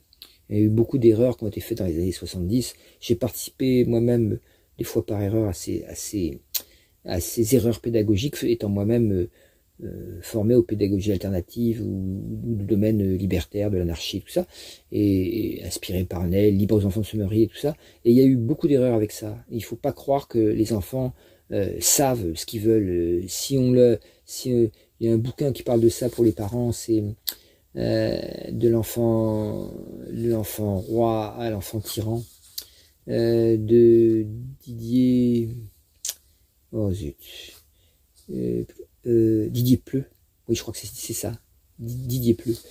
Qui est très intéressant à lire. Alors, il y en a qui vont dire, ah, c'est un bouquin réactionnaire. Non, non, c'est pas réactionnaire. Si vous croisez ça avec Libre aux enfants de se marier et que vous mélangez les deux, très fort, vous obtiendrez vraiment une vraie vision de ce que, de, ce qu'est le vrai rôle de l'adulte ou des parents par rapport à un enfant. Mais il faut les deux. Si vous lisez que Libre de se marier ou que vous lisez que Didier Pleu, il y a un risque de tomber dans un excès euh, gauchiste ou d'un excès droitiste. Et en ce moment, on voit que il faut essayer le ni droite ni gauche et surtout ni, extrême centre non plus. Il va falloir trouver, il va falloir penser un peu plus verticalement et moins horizontalement. Voilà. Donc euh, les conditionnements sont nécessaires. Donc voilà, j'en ai parlé. Deuxième niveau, là c'est le niveau de, où on va dans l'histoire de l'humanité. C'est là où l'avidité euh, matérielle s'est transformée en, en, en, comment dire en, en, possession quoi.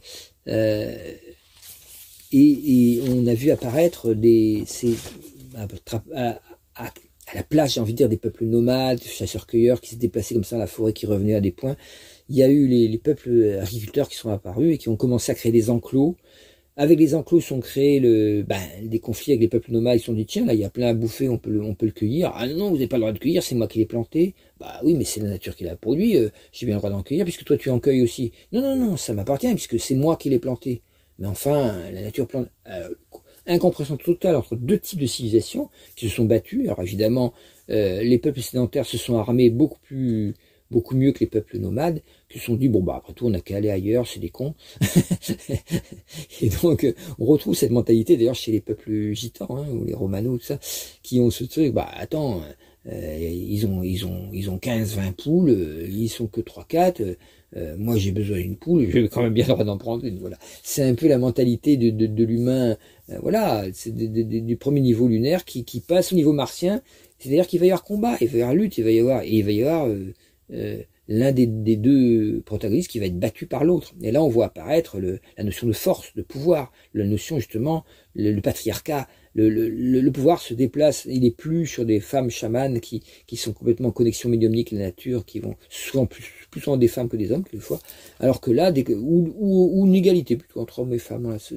en tout cas, c'est des valeurs féminines dans la civilisation lunaire, la civilisation, oui, le niveau lunaire, la civilisation primordiale euh, des, des, des, peuples premiers, comme on les appelle dans des complexes au niveau martien, c'est pas plus barbare, plus, plus guerrier. Il faut bien protéger les silos dans lesquels on a engrangé la récolte de blé, des, ben, des animaux, mais ne serait-ce que parce qu'une partie de ce grain, je vais donner aux animaux, ce qui est complètement scandaleux, parce que je vais commencer à manger de la viande pour, pour me donner de la force pour pouvoir combattre et tuer les ennemis. Donc on voit très bien que là, tous les, les, les heroic fantasy, les barbares, tout ça, c'est à ce moment-là que ça apparaît, les, euh, toutes les, les, valeurs, euh, le, pouvoir dictatorial du chef commence à apparaître. On voit ça dans la, la, disparition des tribus indiennes, par exemple, de, l'Amérique du Nord, quoi, qui, où, ils faisaient des, des guerres, des razzias. Et alors ils avaient des chefs seulement pour la guerre. Hein. Après, quand, quand ils retournaient dans, dans le village, euh, il n'y avait plus de chef. Tout le monde était à égalité. Il y avait, il y avait une organisation anarchiste, libertaire dans la société. Euh, on a, mais avec quand même une. Faut pas confondre une organisation libertaire avec l'absence de hiérarchie. Sauf que la hiérarchie n'est pas une hiérarchie de pouvoir, c'est une hiérarchie de savoir ou de sagesse. C'est-à-dire qu'on allait voir euh, le, vieux chaman ou le vieux sage, on dire mais toi qu'est-ce que t'en penses? Parce que là, ou la ou la mère, euh, la mère chamane qui, où les femmes allaient voir comment comment gérer tel ou tel truc avec leurs époux avec ou leurs enfants. Et il y avait un enseignement qui était donné comme ça, qui, coulait depuis les plus anciens vers les plus, vers les plus jeunes, strate par strate, On trouve ça chez les Unza, ou ceux qui enseignent à, la, génération suivante, c'est de 7 ans en 7 ans. C'est-à-dire que les, ados vont, vont essayer d'enseigner des choses aux, aux enfants de 7 ans. Euh, les ados vont être enseignés eux-mêmes par des par des, des, jeunes adultes de 20, de 21 ans, etc., qui eux-mêmes sont enseignés par des, des adultes plus plus ancrés, plus spécialistes, qui ont, 28 ans, 30 ans, etc. Et, si voilà, c'est un système dans lequel il n'y a pas besoin de pouvoir à ce moment-là, c'est le besoin d'évoluer qui crée lui-même le, besoin de s'adresser à, à, à des gens plus âgés. Là maintenant, dans le jeunisme, on a on a une un crétinisme obligatoire qui apparaît, puisque euh, on, fait croire aux jeunes qui sont qui sont les plus intelligents que tout sans avoir rien appris, donc c'est merveilleux. Euh, c'est comme ça que du coup la sagesse est rejetée, elle est minimisée, elle est complètement euh, décrit, on, on, décrédibilise l'idée qu'il puisse y avoir des maîtres, qu'il puisse y avoir des enseignants, qu'il puisse y avoir évidemment euh, c'est le We Don't Need No Education de, des Pink Floyd, qui était, qui était un cri de révolte contre l'autorité abusive des, profs quand ils, quand, bah, quand ils abusent de l'autorité, mais ça, ça, ne doit pas devenir euh, euh l'absence d'autorité, c'est-à-dire l'autorité, ça vient du mot auteur, comme un auteur de, un auteur de science-fiction, un auteur de, de voilà, un auteur de BD, ce que vous voulez. C'est-à-dire que euh, l'auteur, c'est celui qui, qui, qui crée quelque chose, c'est le créateur. Et donc, euh, on a toujours mieux à faire euh, euh, à aller prendre des informations ou, faire avec, même, c'est encore mieux avec quelqu'un qui sait, qui a un savoir sur quelque chose, que de faire tout seul.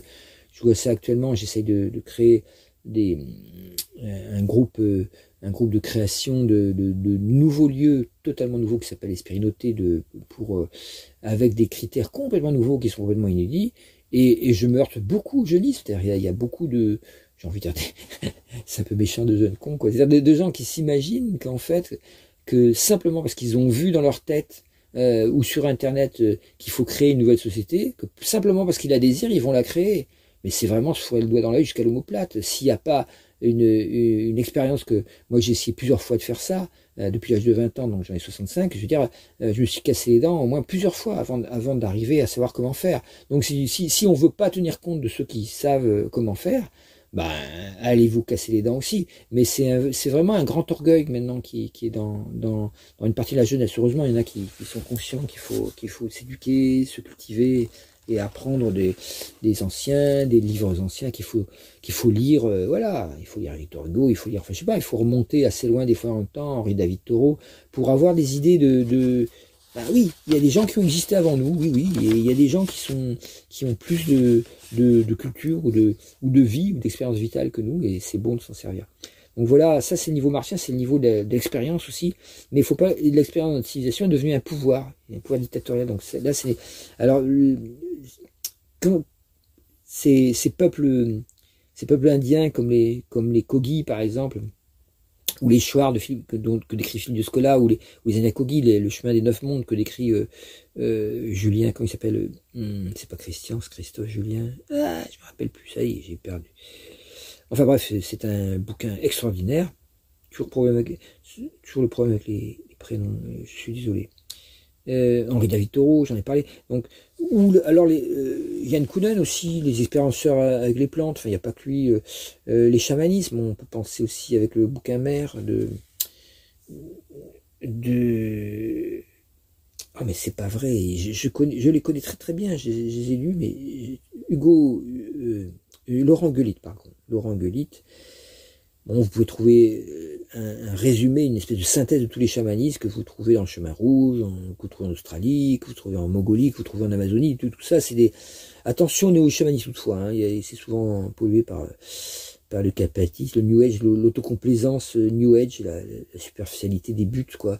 D'ailleurs, c'est un, c'est un chamanisme qui vaut, qui vaut pas grand chose. Euh, c'est vrai que le chamanisme est très très difficile à vivre maintenant puisqu'on vit dans des villes. Le chamanisme n'est valable à vivre que si on est vous, vous immergez assez longtemps dans, la forêt, tout ça. Et là, il y a des choses que vous pouvez apprendre, mais sinon, euh, c'est un peu du New Age, quoi. C'est un peu bidon.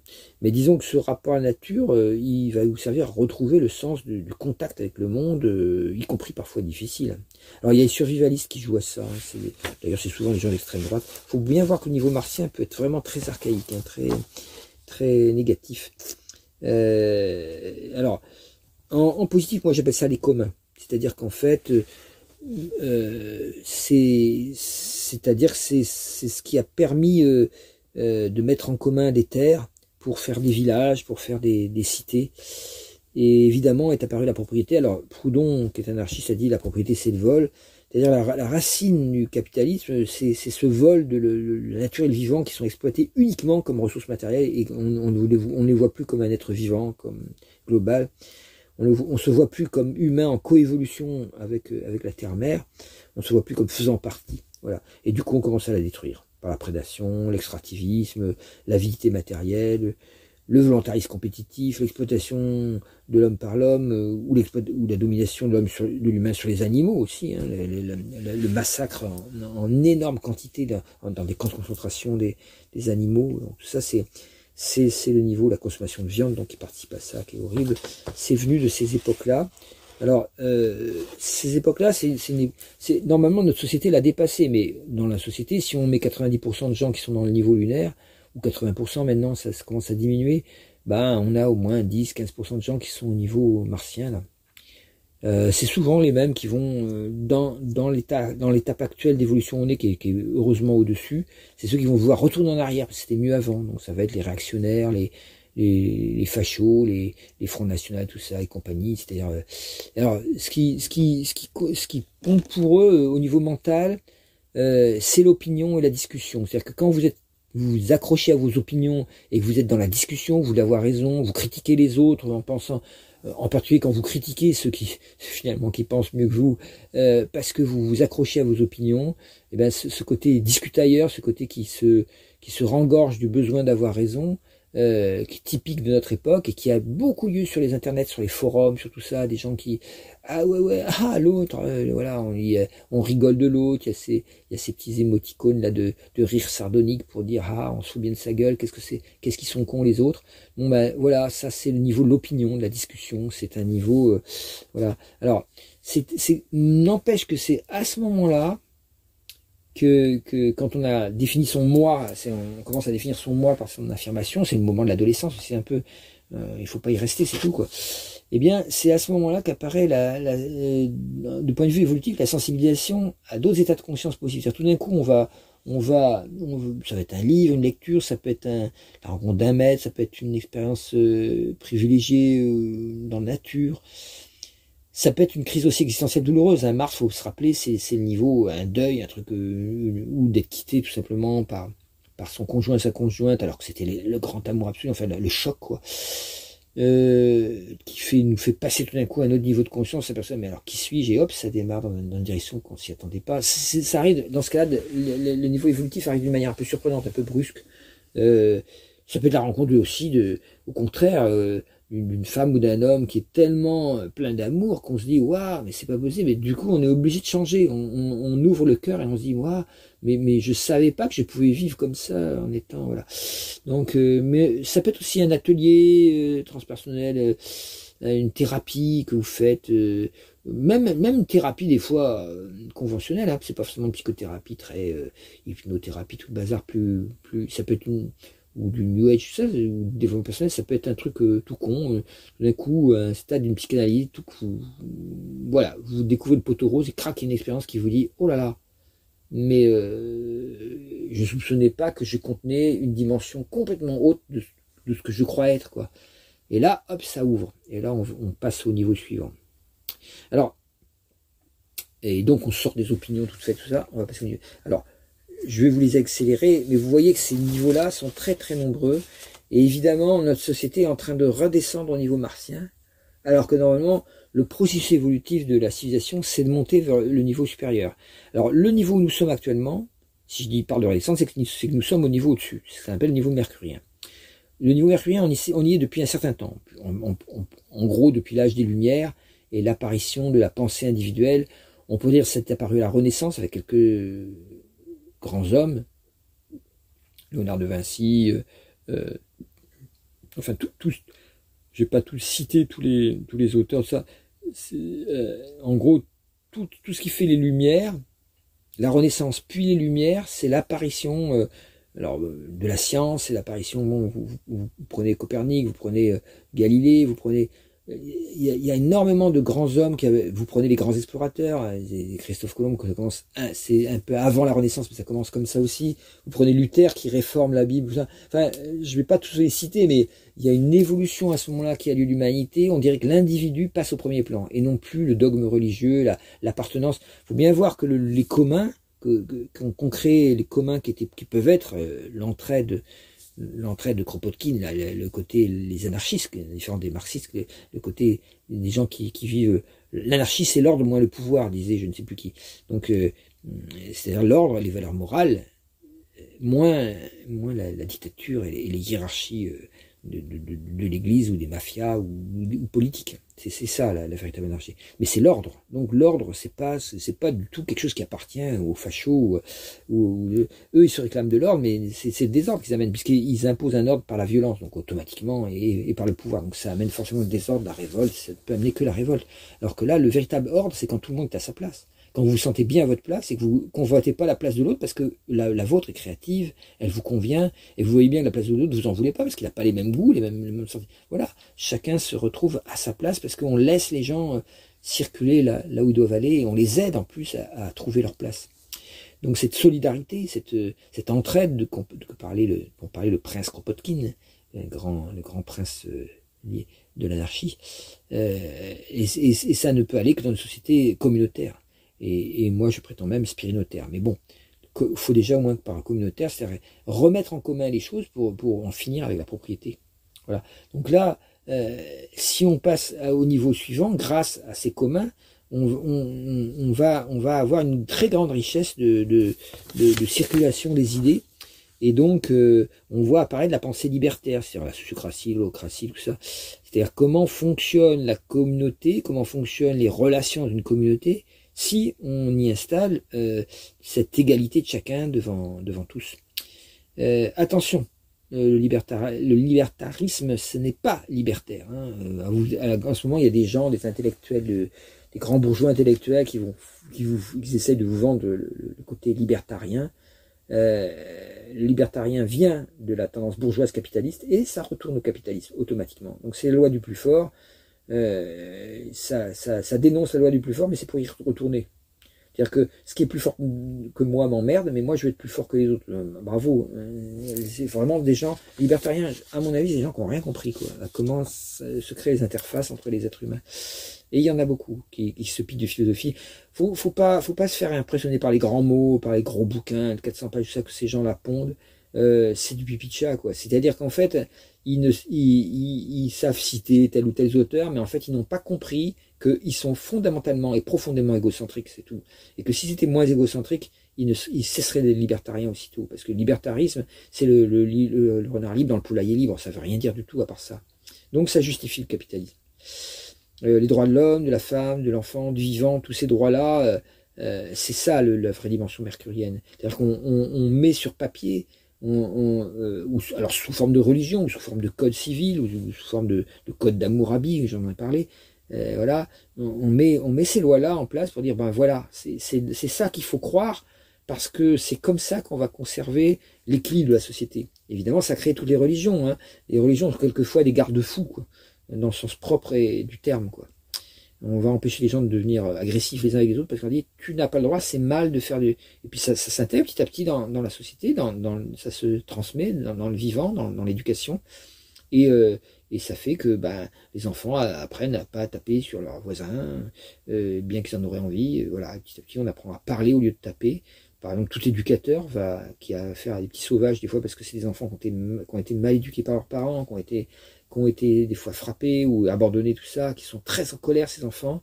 Il va leur réapprendre avec beaucoup de patience à passer du geste violent au, désir de casser, de taper, de, faire du mal, à, la parole, à l'expression, à, dire ce que l'on ressent. Et petit à petit, l'enfant change et, évolue. C'est ça le niveau mercurien, c'est le niveau éducatif. On trouve ça aussi euh, euh, en écologie, le, le, design, en permaculture. Euh, voilà, ça c'est ce qui s'appelle le design, c'est-à-dire comment on réfléchit un paysage, on communique avec lui, et voilà, et pour retrouver une espèce d'unité. Euh, c'est pareil, la véritable écologie politique, c'est pas ce qu'en font les, les, les, les, partis verts et tout ça. Bon, je préfère voter pour eux que pour autre chose des fois parce que c'est eux qui ont le problème le plus complet, qui est le plus d'avenir, on va dire. Mais euh, à partir du moment où c'est un parti, ils se séparent du tout. Donc c'est faut pas confondre l'écologie politique avec la véritable écologie qui est euh, est enfin on va dire, on va pas confondre l'écologie politicienne avec la, ce qu'on appelle la deep écologie, l'écologie profonde, euh, qui, est, qui, est la, véritable écologie politique finalement, c'est-à-dire où il s'agit de renforcer la diversité pour retrouver l'unité. Euh, les, libertaires aussi, la véritable écologie. L'écologie politicienne malheureusement est beaucoup plus médiatisée. Alors elle est utile aussi pour bah, compter ses voix et peut-être faire passer des lois en Parlement, mais on voit très bien qu'à cette vitesse-là, on va tous crever avant que, les lois soient passées. Donc la véritable écologie, elle est sur le terrain. Elle est plus euh, euh dans, les, manifestations de, des soulèvements de la terre ou, euh, les gens qui sont contre la 69 ou qui étaient la ZA de Notre-Dame-des-Landes. Alors écoutez bien l'émission que je vous ai proposée, elle vous montrera un petit peu de quoi il s'agit. Donc euh, bien sûr, alors... ce qu'on appelle l'interéducation ou la coéducation, c'est basé sur la coopération et l'épanouissement intellectuel et relationnel de tous avec le tout. C'est ça la véritable clé. Donc, c'est tous les antidotes au système actuel. Ça, c'est euh, par exemple les AMAP pour, pour la nourriture, pour, éviter les supermarchés, la sécurité sociale de l'alimentation, qui est une sécurité sociale qui permettrait que tout le monde, qu'il n'y ait pas de gens qui, crèvent de faim, et qui, du coup, qui ait l'idée de faire des casses, qui se retrouvent en prison après. Ils auront à manger notre bien, mais bon, c'est un peu dommage, alors qu'il aurait suffi, comme dans Jean Valjean, euh, avec dans Les Misérables, bah, de donner du pain et, de, et pour faire d'un, forçat agressif en faire un, Jean Valjean, un Monsieur Madeleine ensuite. Enfin, c'est une très belle. On, on, pourrait dire que Les Misérables, Victor Hugo montre ces sept niveaux d'évolution qui se, qui se succèdent les uns aux autres. Euh, à la manière de Victor Hugo. Hein. Euh, il y a l'école des possibles aussi au, au niveau de l'interéducation. Euh, ce que, j'ai entendu quelqu'un qui appelait ça le CAC 3 à la place du CAC 40. Le CAC 3, c'est quoi? CAC 3, pour les enfants, c'est créativité, autonomie, coopération. Intéressant. Créativité, autonomie, coopération. Voilà ce qu'il faut apprendre aux enfants. Voilà, puis il y a des auteurs, des cinéastes. Il y a Cyril Dion qui passe justement de temps en temps sur. Il euh, faut trouver le, jour. Il a Chronique Cyril Dion qui passe sur la Terre au carré. Il faut vraiment l'écouter. Lui, il a, il a des choses à dire aussi. Pablo Servine, tous ces bouquins, ça, ça, c'est des gens qui essayent d'éduquer. Bah, le boulot que je fais aussi, c'est un niveau d'éducateur mercurien aussi en astrologie. Vous avez en sociologie des religions, vous avez Olivier Bobineau qui a, critiqué en profondeur le, système un petit peu de... Il est, passé à une émission, je sais plus laquelle, je l'ai pas noté, si vous cherchez Olivier Bobineau, là, c'est, elle valait vraiment la peine son émission, vraiment très intéressant. Euh, c'est quelqu'un qui a quelque chose à dire, on va dire. Euh, vous avez euh, Johan Chapoutot, hein, dont je vous ai donné déjà des exemples que vous, que vous pouvez retrouver, euh, des fois sur, euh, sur Blast ou sur le média, là, qui, qui parle de l'histoire du nazisme en, relation avec la construction du néolibéralisme et de, l'extrême centrisme, là, le néolibéralisme macronien. Il est très intéressant. Les, les, liens qu'il fait sont extrêmement indubitables puisqu'ils sont, il, il, est, il est spécialiste du nazisme et, et, surtout de la manière dont il est apparu et dont, et dont il s'est construit avant qu'on puisse le regretter avec les camps de concentration, la guerre et tout ça, avant qu'on puisse le regretter, on pouvait prévoir ce qu'il allait produire. On n'a jamais essayé, disait ça aussi les Allemands. On n'a jamais essayé, il faudrait essayer, il, a l'air bien, il a l'air bien convaincu de ce qu'il dit, sûrement il doit avoir raison. Voilà, donc euh, quand on voit ces... ou l'œuf du serpent, le film de Berman qu'il faut voir aussi, quand on voit l'œuf du serpent, on sait qu'il va sortir un serpent. Donc il faut, commencer à réagir avant parce qu'après c'est toujours trop tard.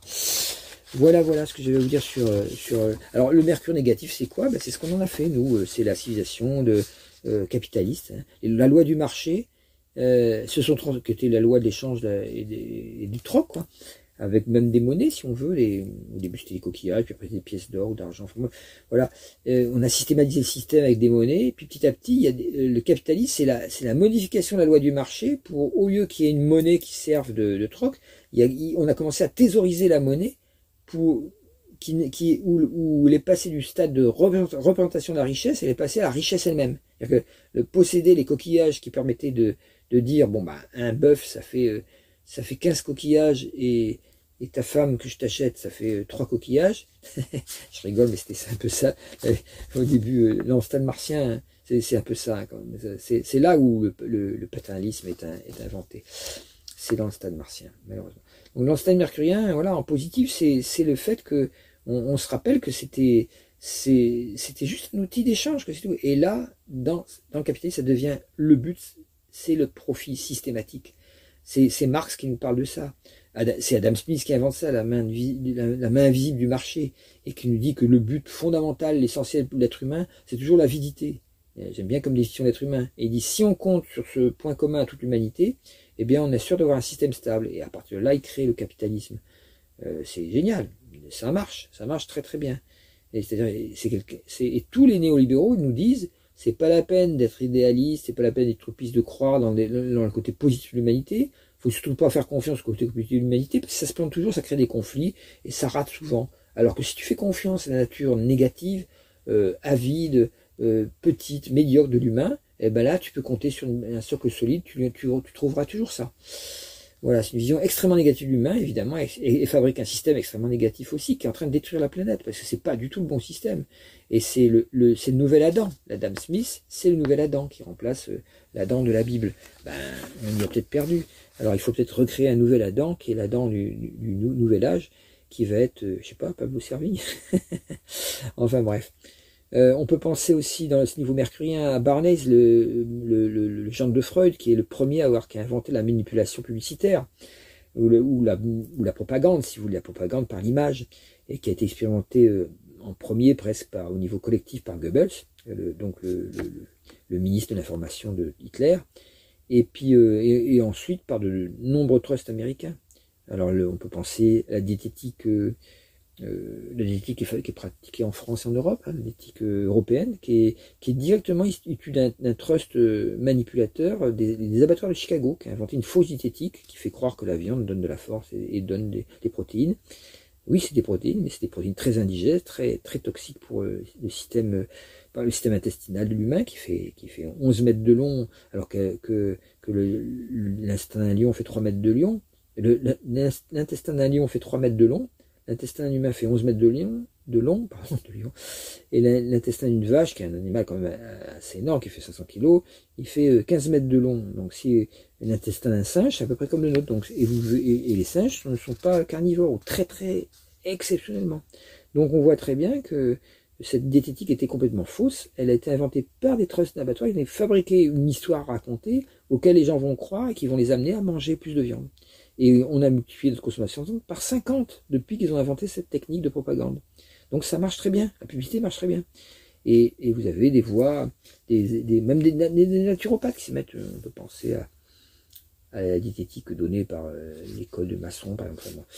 C'est des diététiques qui, donnent une énorme importance à la viande. Non, tout ça c'est faux. La vraie diététique euh, qui a été expérimentée, qui a permis de faire des, des, des vrais progrès au niveau de, la, de la santé, tout ça, et c'est confirmé par les, endroits où il y a des centenaires et tout ça, c'est la diététique végétarienne. C'est-à-dire en fait où, l'immense majorité des aliments sont d'ordre végétarien, avec des petites exceptions comme font les singes si vous voulez, mais, très très rares. Donc, il faut diminuer par 50 votre quantité de viande que vous mangez. Si vous, êtes si vous avez été élevé comme un, un, Français moyen, diminuez par 50. Donc, ça fait manger de la viande seulement quand vous allez chez Tati ou Tata, euh, si vous voulez, ou si vous la digérez encore, ou plus du tout, si vous sentez que, à chaque fois que vous y en sortez, vous vous digérez très mal, vous arrêtez totalement. Tant pis, ça ne plaît pas à papa, maman, tati, tata ou pépé, mémé. Il faut quand même devenir adulte, quoi. Euh, ça a donné ces, trusts, euh, ces trusts publicitaires, ça a donné le, glamour pour les cigarettiers. Hein. le cowboy Marlboro, la Marilyn qui fumait avec... c'est pas Marilyn, c'est... Hmm. Ça y est, je me rappelle plus, cette belle femme des années 50 qui fumait avec un grand, un long fume-cigare. Et ben voilà. bref, vous trouverez par vous-même l'image, vous aurez l'image de Belle Blonde. vous avez la charité aussi agricole, de Monsanto, qui empoisonne les gens tout en disant qu'il va les sauver avec du riz. Euh, c'était le grand prétexte. Les OGM vont sauver la planète de la faim. Et il a fait exactement l'inverse. Vous avez le barrage extrême droite de Macron, qui est, qui est là, on le voit maintenant, pour aider l'extrême droite à accéder au pouvoir. Euh, Est-ce qu'il le fait exprès ou pas Il faut quand même se poser la question. Dire, ah ben non, il a voulu faire barrage. Non.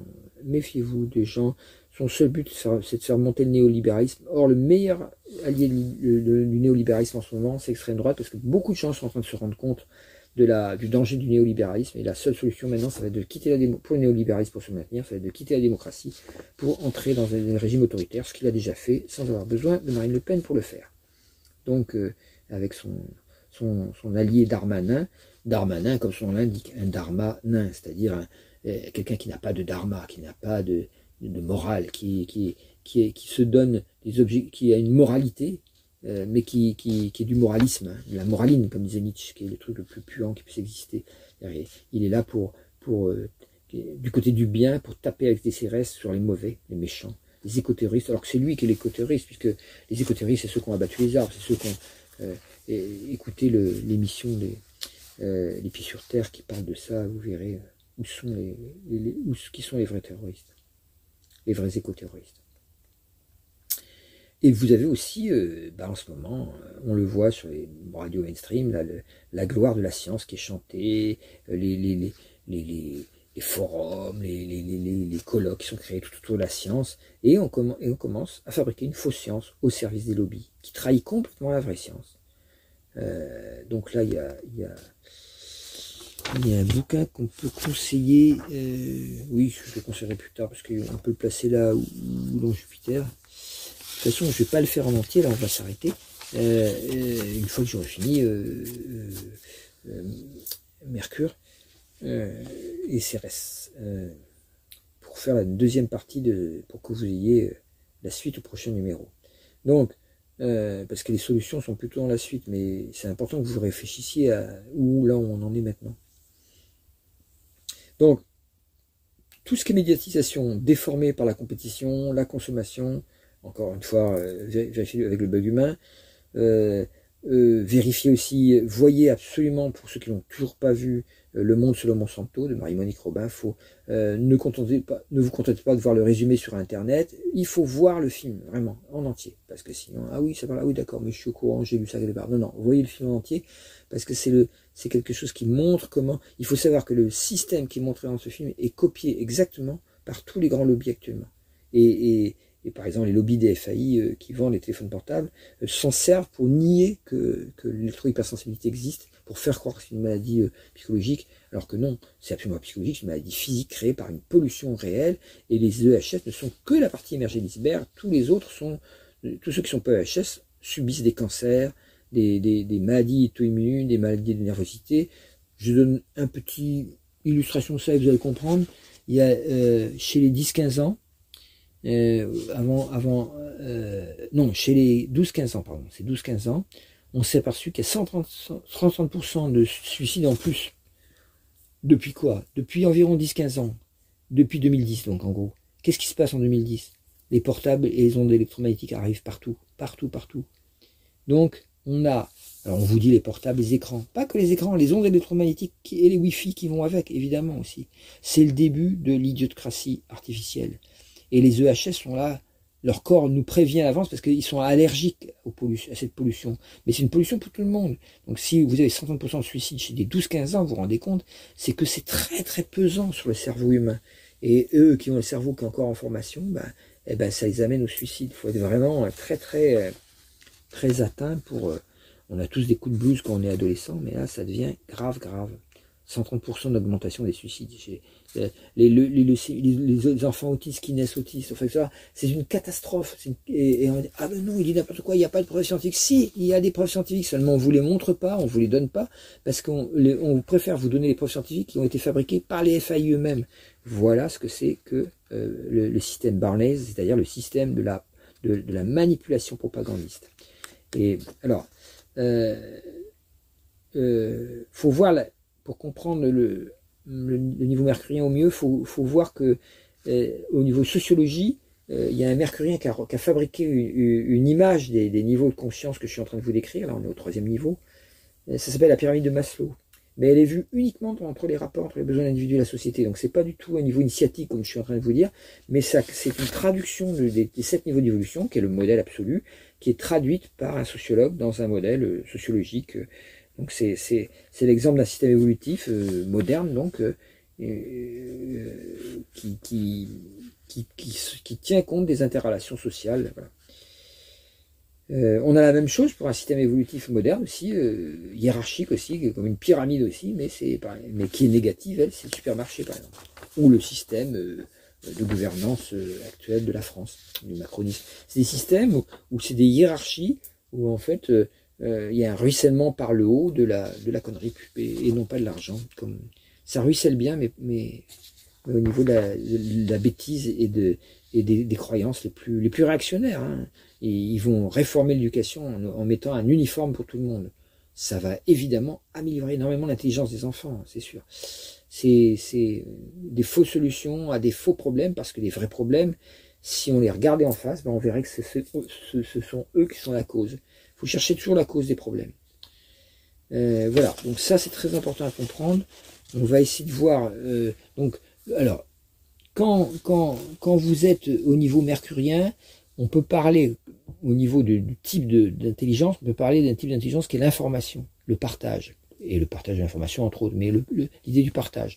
C'est pour ça que j'ai montré les niveaux de civilisation où on passe, sociocratie, holocratie, où on essaye de trouver des systèmes où on, est en, éducation, en, dialogue, en, exploration aussi intellectuelle ou, spirituelle, les uns avec les autres. Et ça se fait dans un cadre évidemment des communs au niveau. Ça, se fait pas, ça se fait beaucoup moins dans le cas d'une société capitaliste, parce que dans une société capitaliste, qui va pouvoir discuter avec son psy, quelqu'un qui a, le, fric pour le payer? Moi, j'ai lutté toute ma vie pour ça, en, en, en créant des, des, des, systèmes de, de, thérapie, quoi, euh, qui étaient euh, parfois totalement gratuits, euh, au sens que, bon, il y avait l'argent qui s'échangeait, dans le sens que, évidemment, si je demandais aux gens ce qu'on appelle la libre participation aux frais, c'est-à-dire que si moi je paye une, salle de conférence, eh bien évidemment, c'est pas à moi de payer pour que les gens viennent m'écouter. C'est quand même, voilà. mais l'idée, c'est que de plus en plus la connaissance soit gratuite Gratuit, ça ne veut pas dire qu'il n'y a pas d'argent qui circule, ça veut dire qu'il n'y a pas de but lucratif. Voilà, c'est ce que c'est un peu le système de l'association 1901. Il y a bien de l'argent qui circule, il y a des entrées et des sorties, mais il n'y a pas de but lucratif. On n'essaye pas de s'enrichir avec ça, on essaye d'enrichir les autres et soi-même en même temps. Et ces systèmes-là sont les vrais systèmes où apparaissent euh, la, la, vraie mentalité positive mercurienne, donc qui sort du niveau compétitif pour être dans le, le niveau du partage euh, des, des, des, méthodes, des intelligences, de la culture, de l'art, de, de la, du cinéma, la littérature, tout ça, voilà, c'est le niveau euh, mercurien. Alors évidemment, euh, c'est là que si vous vous rappelez les stades d'évolution spirituelle, on avait la, la, méconnaissance totale du but, l'ignorance, bon, on est dans le système matérialiste, après on avait la sensibilisation, tiens, un événement qui me fait qui me fait tilter, qui me fait passer sur un autre niveau. Et le troisième niveau, c'est c'est qu'on va rechercher une méthode. Et là, on va là on va creuser. Alors là, on va se mettre à, à lire beaucoup euh, euh, de bouquins qui parlent de cette chose-là. Euh, on peut penser à la prophétie des Andes qui ouvre beaucoup de gens des fois à ce stade-là. C'est-à-dire, voilà, on découvre que que non, il n'y a pas de hasard, il n'y a pas de coïncidence, et quelque chose vient vers nous parce que l'énergie vient vers nous. Enfin, il y a toute une réflexion là-dessus. Et, euh, et, on découvre que, alors on étudie l'invisible, on étudie la vie après la mort, les expériences de gens qui vivent, qui reviennent de les NDE, les EMI, on appelle ça aussi euh, selon la langue, euh, les expériences de mort imminente ou les near death experience. Euh, on étudie peut-être un peu de bouddhisme, un peu de, un peu d'hindouisme. Là, on commence à faire un cocktail spirituel des fois. Donc des fois, c'est une combinaison de hatha yoga, de tai chi, de de, de, de lutte martiale, euh, un peu de lecture, un peu de méditation, voilà, on, on, papillonne quoi, on, cherche une voie, un maître, tout ça, mais on n'en trouve pas des fois, on tombe sur des sectes. Bon, alors après, faut, faut pas non plus être complètement parano avec les sectes. Hein. Si vous êtes intelligent, vous regardez, vous voyez bien que le but c'est pas, c'est la hiérarchie, c'est pas de vous éveiller. Euh, voilà. Euh, par contre, des gens qui vont euh, adorer un maître spirituel avec beaucoup d'amour, ça veut pas dire c'est une secte. Hein. Vous voyez ça avec Ama. Ama, c'est pas du tout une secte. Vous rentrez, vous sortez comme vous voulez. Seulement, les gens manifestent beaucoup d'amour pour elle parce qu'elle-même manifeste un amour infini. C'est sa voix. Sa voix, c'est l'amour infini. Vous vous approchez, vous êtes vous, vous approchez une centrale nucléaire d'amour infini, vous êtes irradié par l'amour infini, puis après vous avez plus envie que de partager l'amour également. Bon ben ça c'est c'est c'est pas parce que des gens qui la fréquentent depuis longtemps sont extrêmement amoureux d'Ama qui sont fous et qui sont, qui sont perdus de la personnalité. Ça, c'est une vision un peu, un peu fausse. Sauf s'ils objectifent trop le maître, c'est-à-dire s'ils ils font d'Ama euh, euh, une personne qui serait, euh, alors qu'en fait, c'est ce qu'on appelle une incarnation divine, c'est-à-dire quelqu'un qui, qui rayonne le plan divin sans passer par, sans que sa personne soit, soit la source de cette émanation. Mais c'est le plan divin lui-même qui est l'émanation. Bon, ça, c'est un très haut niveau spirituel. Bon, évidemment, si vous adorez l'enveloppe, le personnage, tant pis pour vous, vous allez, vous allez rester accroché à la forme et pas comprendre ce qu'elle essaye de vous montrer ou de vous dire. Son message, en gros, c'est aimer, aimer et, vous montrer spirituellement sans cesse, rien que par l'amour et la connaissance qui vient de l'amour.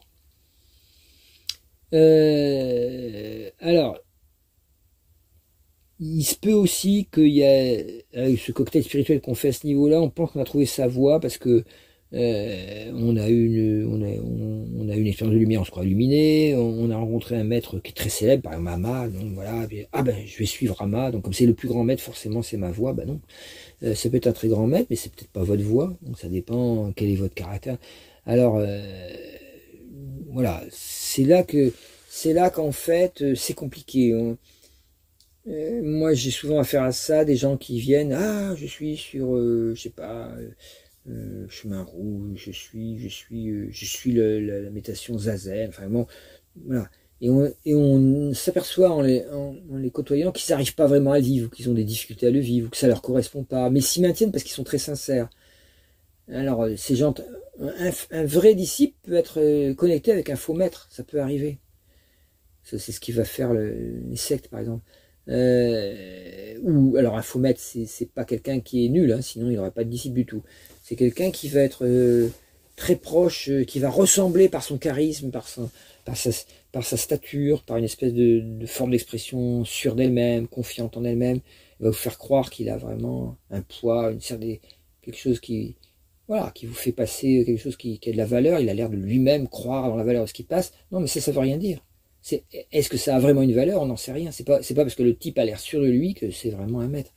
Donc c'est compliqué, c'est ou alors il peut être habillé comme un maître, avoir une longue barbe blanche et je sais pas, un exemple quoi, puis un grand pyjama rose ou jaune ou et, venir d'Inde et puis euh, et, ressembler vraiment ou être rendu être un yogi rendu à un très grand niveau et puis pas forcément avoir fini la réalisation totalement. Donc ça devient compliqué. Bon, en général, euh, voilà, quand quand il y a un grand maître qui qui enseigne et que vraiment vous sentez un amour infini, que vous en sentez transformer l'intérieur, vous sortez d'une expérience complètement transcendante de là, euh, et que vous vous transformez, transformez de l'intérieur, vous avez une transformation immédiate. Là, vous avez affaire à un grand, avec un vrai maître, même s'il paraît pas. Moi, j'aime bien euh, Pierre Gérald qui rigole tous les deux comme des bossus. Euh, Pierre, c'est carrément du hi, comme ça, souvent pour pas grand chose.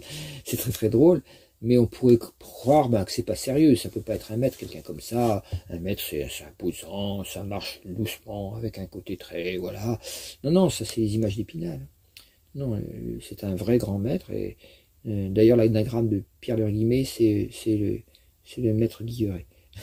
Donc c'est, voilà, c'est, voilà, il y a, donc c'est à ce stade-là, au stade mercurien, qu'on se prend les pieds dans les fleurs du tapis. On peut confondre un faux maître avec un vrai maître. On peut confondre les vrais disciples avec les faux disciples. On peut se retrouver, euh, on peut, on peut s'arrêter en croyant ah oui ça y est j'ai trouvé ma voie parce que il y a beaucoup de monde qui fait partie de ça et c'est des gens que j'aime bien. Donc euh, attention, il il faut pas s'arrêter là. Il faut peut-être ça va continuer. Il faut rester encore. Il s'agit pas de papillonner non plus parce que si on va à droite à gauche sans arrêt, on n'amasse jamais rien. C'est Arnaud Desjardins qui racontait une histoire très très bien. Il disait euh, un maître qui dit à va creuser dans ce champ. Euh, oui, il a acheté une maison, un champ et, une propriété. Il dit, mais il n'y a pas d'eau dessus, c'est embêtant, je veux faire du permaculture jardinière. Il dit, va creuser dans le champ, tu vas trouver de l'eau, creuse dans ce champ-là. Alors il creuse, il dit, le maître m'a dit, donc il doit savoir, il creuse. Au bout de deux mètres, rien du tout. Alors il dit, oh, ça va pas être là, ça va être plutôt, je suis con, j'ai creusé dans, la butte, j'aurais dû creuser dans le creux, alors il va dans le creux pareil, rien du tout. Ah bah oui, mais les arbres sont plus verts alors il recontinue. Et à chaque fois, il creuse, il creuse, il creuse. Et puis euh, il, vient, il vient voir le maître, il a fait au moins 14 trous dans son jardin, c'est un vrai chantier son jardin, et il n'a pas trouvé d'eau. Il dit, mais tu m'avais dit qu'il y a de l'eau, tu t'es foutu de ma gueule ou quoi? J'ai creusé, j'ai fait 14 trous, il n'y a pas d'eau nulle part, je comprends rien. Alors à ce moment-là, le maître lui dit, non, creuse là, mais reprends, là, et creuse. Et effectivement, l'eau était à 3 mètres, il pas à 2 mètres de profondeur. Il avait creusé 14 trous à 2 mètres de profondeur, et il suffit d'aller à 3 mètres de profondeur, dans n'importe quel des trous, et l'eau était à 3 mètres. Donc ça, c'est un bon exemple de, l'effort qui nous est demandé de faire pour avancer. Hein. Sinon, sinon c'est pas c'est pas suffisant. Alors le, quatrième stade, qui est le stade où vraiment, bah là, ça y est, la grande aventure commence. Vous trouvez votre voie, vous trouvez votre maître, et vous commencez à pratiquer une voie. Évidemment, là, c'est pas facile. Euh, on va, on va, on va apprendre à dissoudre des obstacles petit à petit. Bah là, les obstacles vont apparaître. Là, ça devient le, boulot commence. C'est-à-dire, euh, alors les, méthodes peuvent varier sur la, la, voie qui est choisie. Hein. Euh, ça peut changer aussi en fonction de l'évolution personnelle de, la personne, de conditions individuelles, parce que le maître peut dire non, non, toi fais pas ça, fais plutôt ça. Euh, ou sinon, c'est une école globale et dans ce cas-là, tous les disciples sont invités à faire un peu la même pratique qui est, qui est, qui est très universelle, qui est très adaptable à tout le monde. ça peut être justement une école de yoga, ça peut être, enfin peu importe. Euh, ce qu'il faut comprendre à ce stade-là, c'est le stade jupitérien que je vais vous expliquer. Euh, il faut bien comprendre qu'on ne peut pas s'arrêter. C'est-à-dire qu'en fait, c'est ce que disent les, bouddhistes tibétains, alors ça fait peur à certains, c'est un peu idiot, faut pas avoir peur, mais c'est le, sens même de la vie, la vie est toujours comme ça, on peut pas décomprendre. Quand vous avez commencé à comprendre quelque chose, vous pouvez pas revenir en arrière. Même si c'est plus fatigant de pratiquer que de pas pratiquer, euh, ben, il faut prendre cette fatigue en charge, parce que de toute façon, il n'y a pas, les bouddhistes tibétains disent euh, euh, le chemin de l'évolution, c'est comme un tuyau dans lequel on fait rentrer un serpent. Il ne peut sortir que par l'autre côté. on peut pas, le serpent peut gigoter dans tous les sens en se tortillant. Il peut pas revenir en arrière. Il, ne peut que avancer. Vous avez vu un serpent avancer, ça, va très très vite quand ça va vers l'avant, mais pas en arrière, il sait pas faire. Il peut pas reculer quoi. Euh, donc là, pourquoi je dis ça? Parce que dans cette phase-là, on peut être amené à reculer euh, devant la difficulté, on va rencontrer des obstacles, des, nœuds, des traumatismes, des visions intérieures euh, pas faciles des fois. Et, voilà, il faut pratiquer, pratiquer, pratiquer, parce que ça, ça doit s'étendre progressivement à toute la vie quotidienne, toute la vie, euh, manger, s'habiller, se comporter avec les autres, comment choisir sa direction de vie, sa profession, ce qu'on fait, tout va changer petit à petit et on va évoluer de plus en plus vite. On va avoir l'impression de vivre en un an, on va vivre ce que les autres personnes vivent en sept ans. Euh, c'est après, on peut pas, les gens peuvent pas voir de l'extérieur ce qui se passe. C'est incroyable, quoi. Vous, vous, avez une rapidité de conscience qui fait qu'en fait, euh, c'est l'art de la méditation, quoi. En fait. Alors, si par contre, vous, vous, si on ne n'installe pas ça au quotidien tous les jours et qu'on se met pas à méditer tous les jours à, pratiquer, ben il risque d'avoir régression. Donc là, ce stade, c'est celui où, en fait, devant la difficulté qu'il y a, on peut régresser. Et c'est le stade où on est l'humanité actuellement. C'est-à-dire, on a le choix, on peut sauver la planète d'humanité, on sait comment il faut faire. Il faut qu'on devienne tous écologistes, non pas faire partie du parti des Verts, mais réfléchir aux moyens de devenir tous écologistes, sinon on va tous crever. Donc c'est pas compliqué. C'est ce que disait Martin Luther King, où nous, allons, où nous devons apprendre à vivre ensemble comme des frères, sinon nous mourrons ensemble comme des idiots. Et là, on est en train de prendre la voie pour mourir ensemble comme des idiots si on ne se réveille pas assez vite. Donc voilà le niveau jupitérien. Euh, je, je décrirai plus profondément la prochaine fois. Là, je vous l'ai déjà décrit. On pourrait dire, je reprendrai la prochaine fois. C'est un niveau de de connaissance et de science. C'est-à-dire qu'il il est nécessaire de comprendre profondément comment je fonctionne. Connais-toi toi-même, tu connaîtras l'univers, les dieux. Si et, et c'est là que commencent les emmerdements, parce que c'est là que vont commencer les fausses connaissances, les faux savoirs, les, les, illusions qu'on va se fabriquer en faisant des synthèses fausses dans sa tête. On va mélanger on va mélanger une fausse connaissance avec une vraie, et en se mélangeant, on va, on va croire que l'ensemble est vrai. Or, comme on a mélangé une information fausse au milieu, tout va être troublé. D'où l'importance de rencontrer des vrais enseignements, des gens qui nous décrivent vraiment le processus en entier, parce que si vous n'avez pas une description du processus en entier, eh forcément, vous allez mélanger des informations qui vous plaisent avec des informations qui sont vraies. Or, ce qui vous plaît n'est pas forcément vrai, et ce qui, et ce qui est vrai n'est pas forcément plaisant. Il faut bien comprendre. Le plaisant déplaisant, c'est le domaine mercurien. C'est celui où on se déplace dans société de consommation, j'appelle ça, et où on choisit les produits dans le grand supermarché de la vie. Ça, c'est l'illusion encore. Quand vous passez au niveau jupitérien, c'est un stade initiatique, c'est le premier, vous n'êtes plus en préparation, vous n'êtes plus en recherche d'une méthode, d'une voie. Là, vous, pratiquez la voie, vous entrez dedans, et là euh, commencent les, phases qu'on peut appeler euh, initiatiques, les phases de, pratique, qui sont des phases de libération vers, euh, vers le soi. Et, on va voir qu'il y, a quatre phases successives qui sont initiatiques, qui sont appelées quelquefois ésotériques ou secrètes, non pas parce qu'on veut vous les cacher, mais si on vous les décrit, vous allez peut-être mal les comprendre. Vous allez croire que le type, il se, il se, la, il se la pète avec ça, ou qu'il se croit supérieur. Dès qu'on interprète ces phases-là, ces, ces, niveaux, avec l'idée de supériorité, infériorité, comme dans les systèmes hiérarchiques capitalistes, on se trompe complètement. Parce que la supériorité d'un maître euh, spirituel, c'est pas du tout une supériorité euh, arrogante, c'est pas quelqu'un, c'est quelqu'un d'une humilité totale, qui est complètement à votre service, qui est complètement dans, le cœur, c'est pas quelqu'un qui cherche à vous dominer, c'est quelqu'un au contraire qui cherche à vous donner le maximum de ce que lui il a appris, et qui vous cherche à vous montrer gentiment, avec beaucoup de, de avec un amour infini, euh, là où vous êtes en train de vous planter, là où vous êtes en train de perdre votre temps, là où vous êtes en train de souffrir pour rien. Donc c'est très précieux, alors que le maître, tel que défini dans la relation maître-esclave de Hegel, qui est très repris par Marx, qui a été qui a donné après dans l'analyse du rapport entre bourgeoisie et classe et classe prolétaire la dictature du prolétariat comme solution à la place de l'anarchie de, Kropotkin ou ça la dictature du prolétariat qui a créé le communisme le stalinisme qui a créé comme antidote soi-disant le fascisme euh, euh, comme euh, soi-disant réaction épidermique au communisme ça. Tout ça c'est une catastrophe qui a lieu pendant tout le XXe siècle et qui a démarré dans les fausses euh, religions, toutes les fausses religions sont apparues dans le 19e siècle, vous regarderez bien. il y a le marxisme, le, fascisme aussi, le, sionisme, l'anti, l'antisémitisme, tous les ismes en fait sont extrêmement, c'est le, le, le, siècle neptunien, euh, puisque c'est la découverte de Neptune dans le 19e siècle, et c'est le siècle où apparaissent tous les ismes, et les ismes, c'est ce qui va démolir, défaire la et tous les ismes, donc ils vont, ils vont trahir la notion de départ. Voilà. Le, le, commun, ce que j'ai décrit comme étant les communs, ce qui est, qui est vrai, la vraie manière de, de vivre en solidarité entre humains, bah, ça, ça, ça donne le communisme et c'est 20 millions de morts.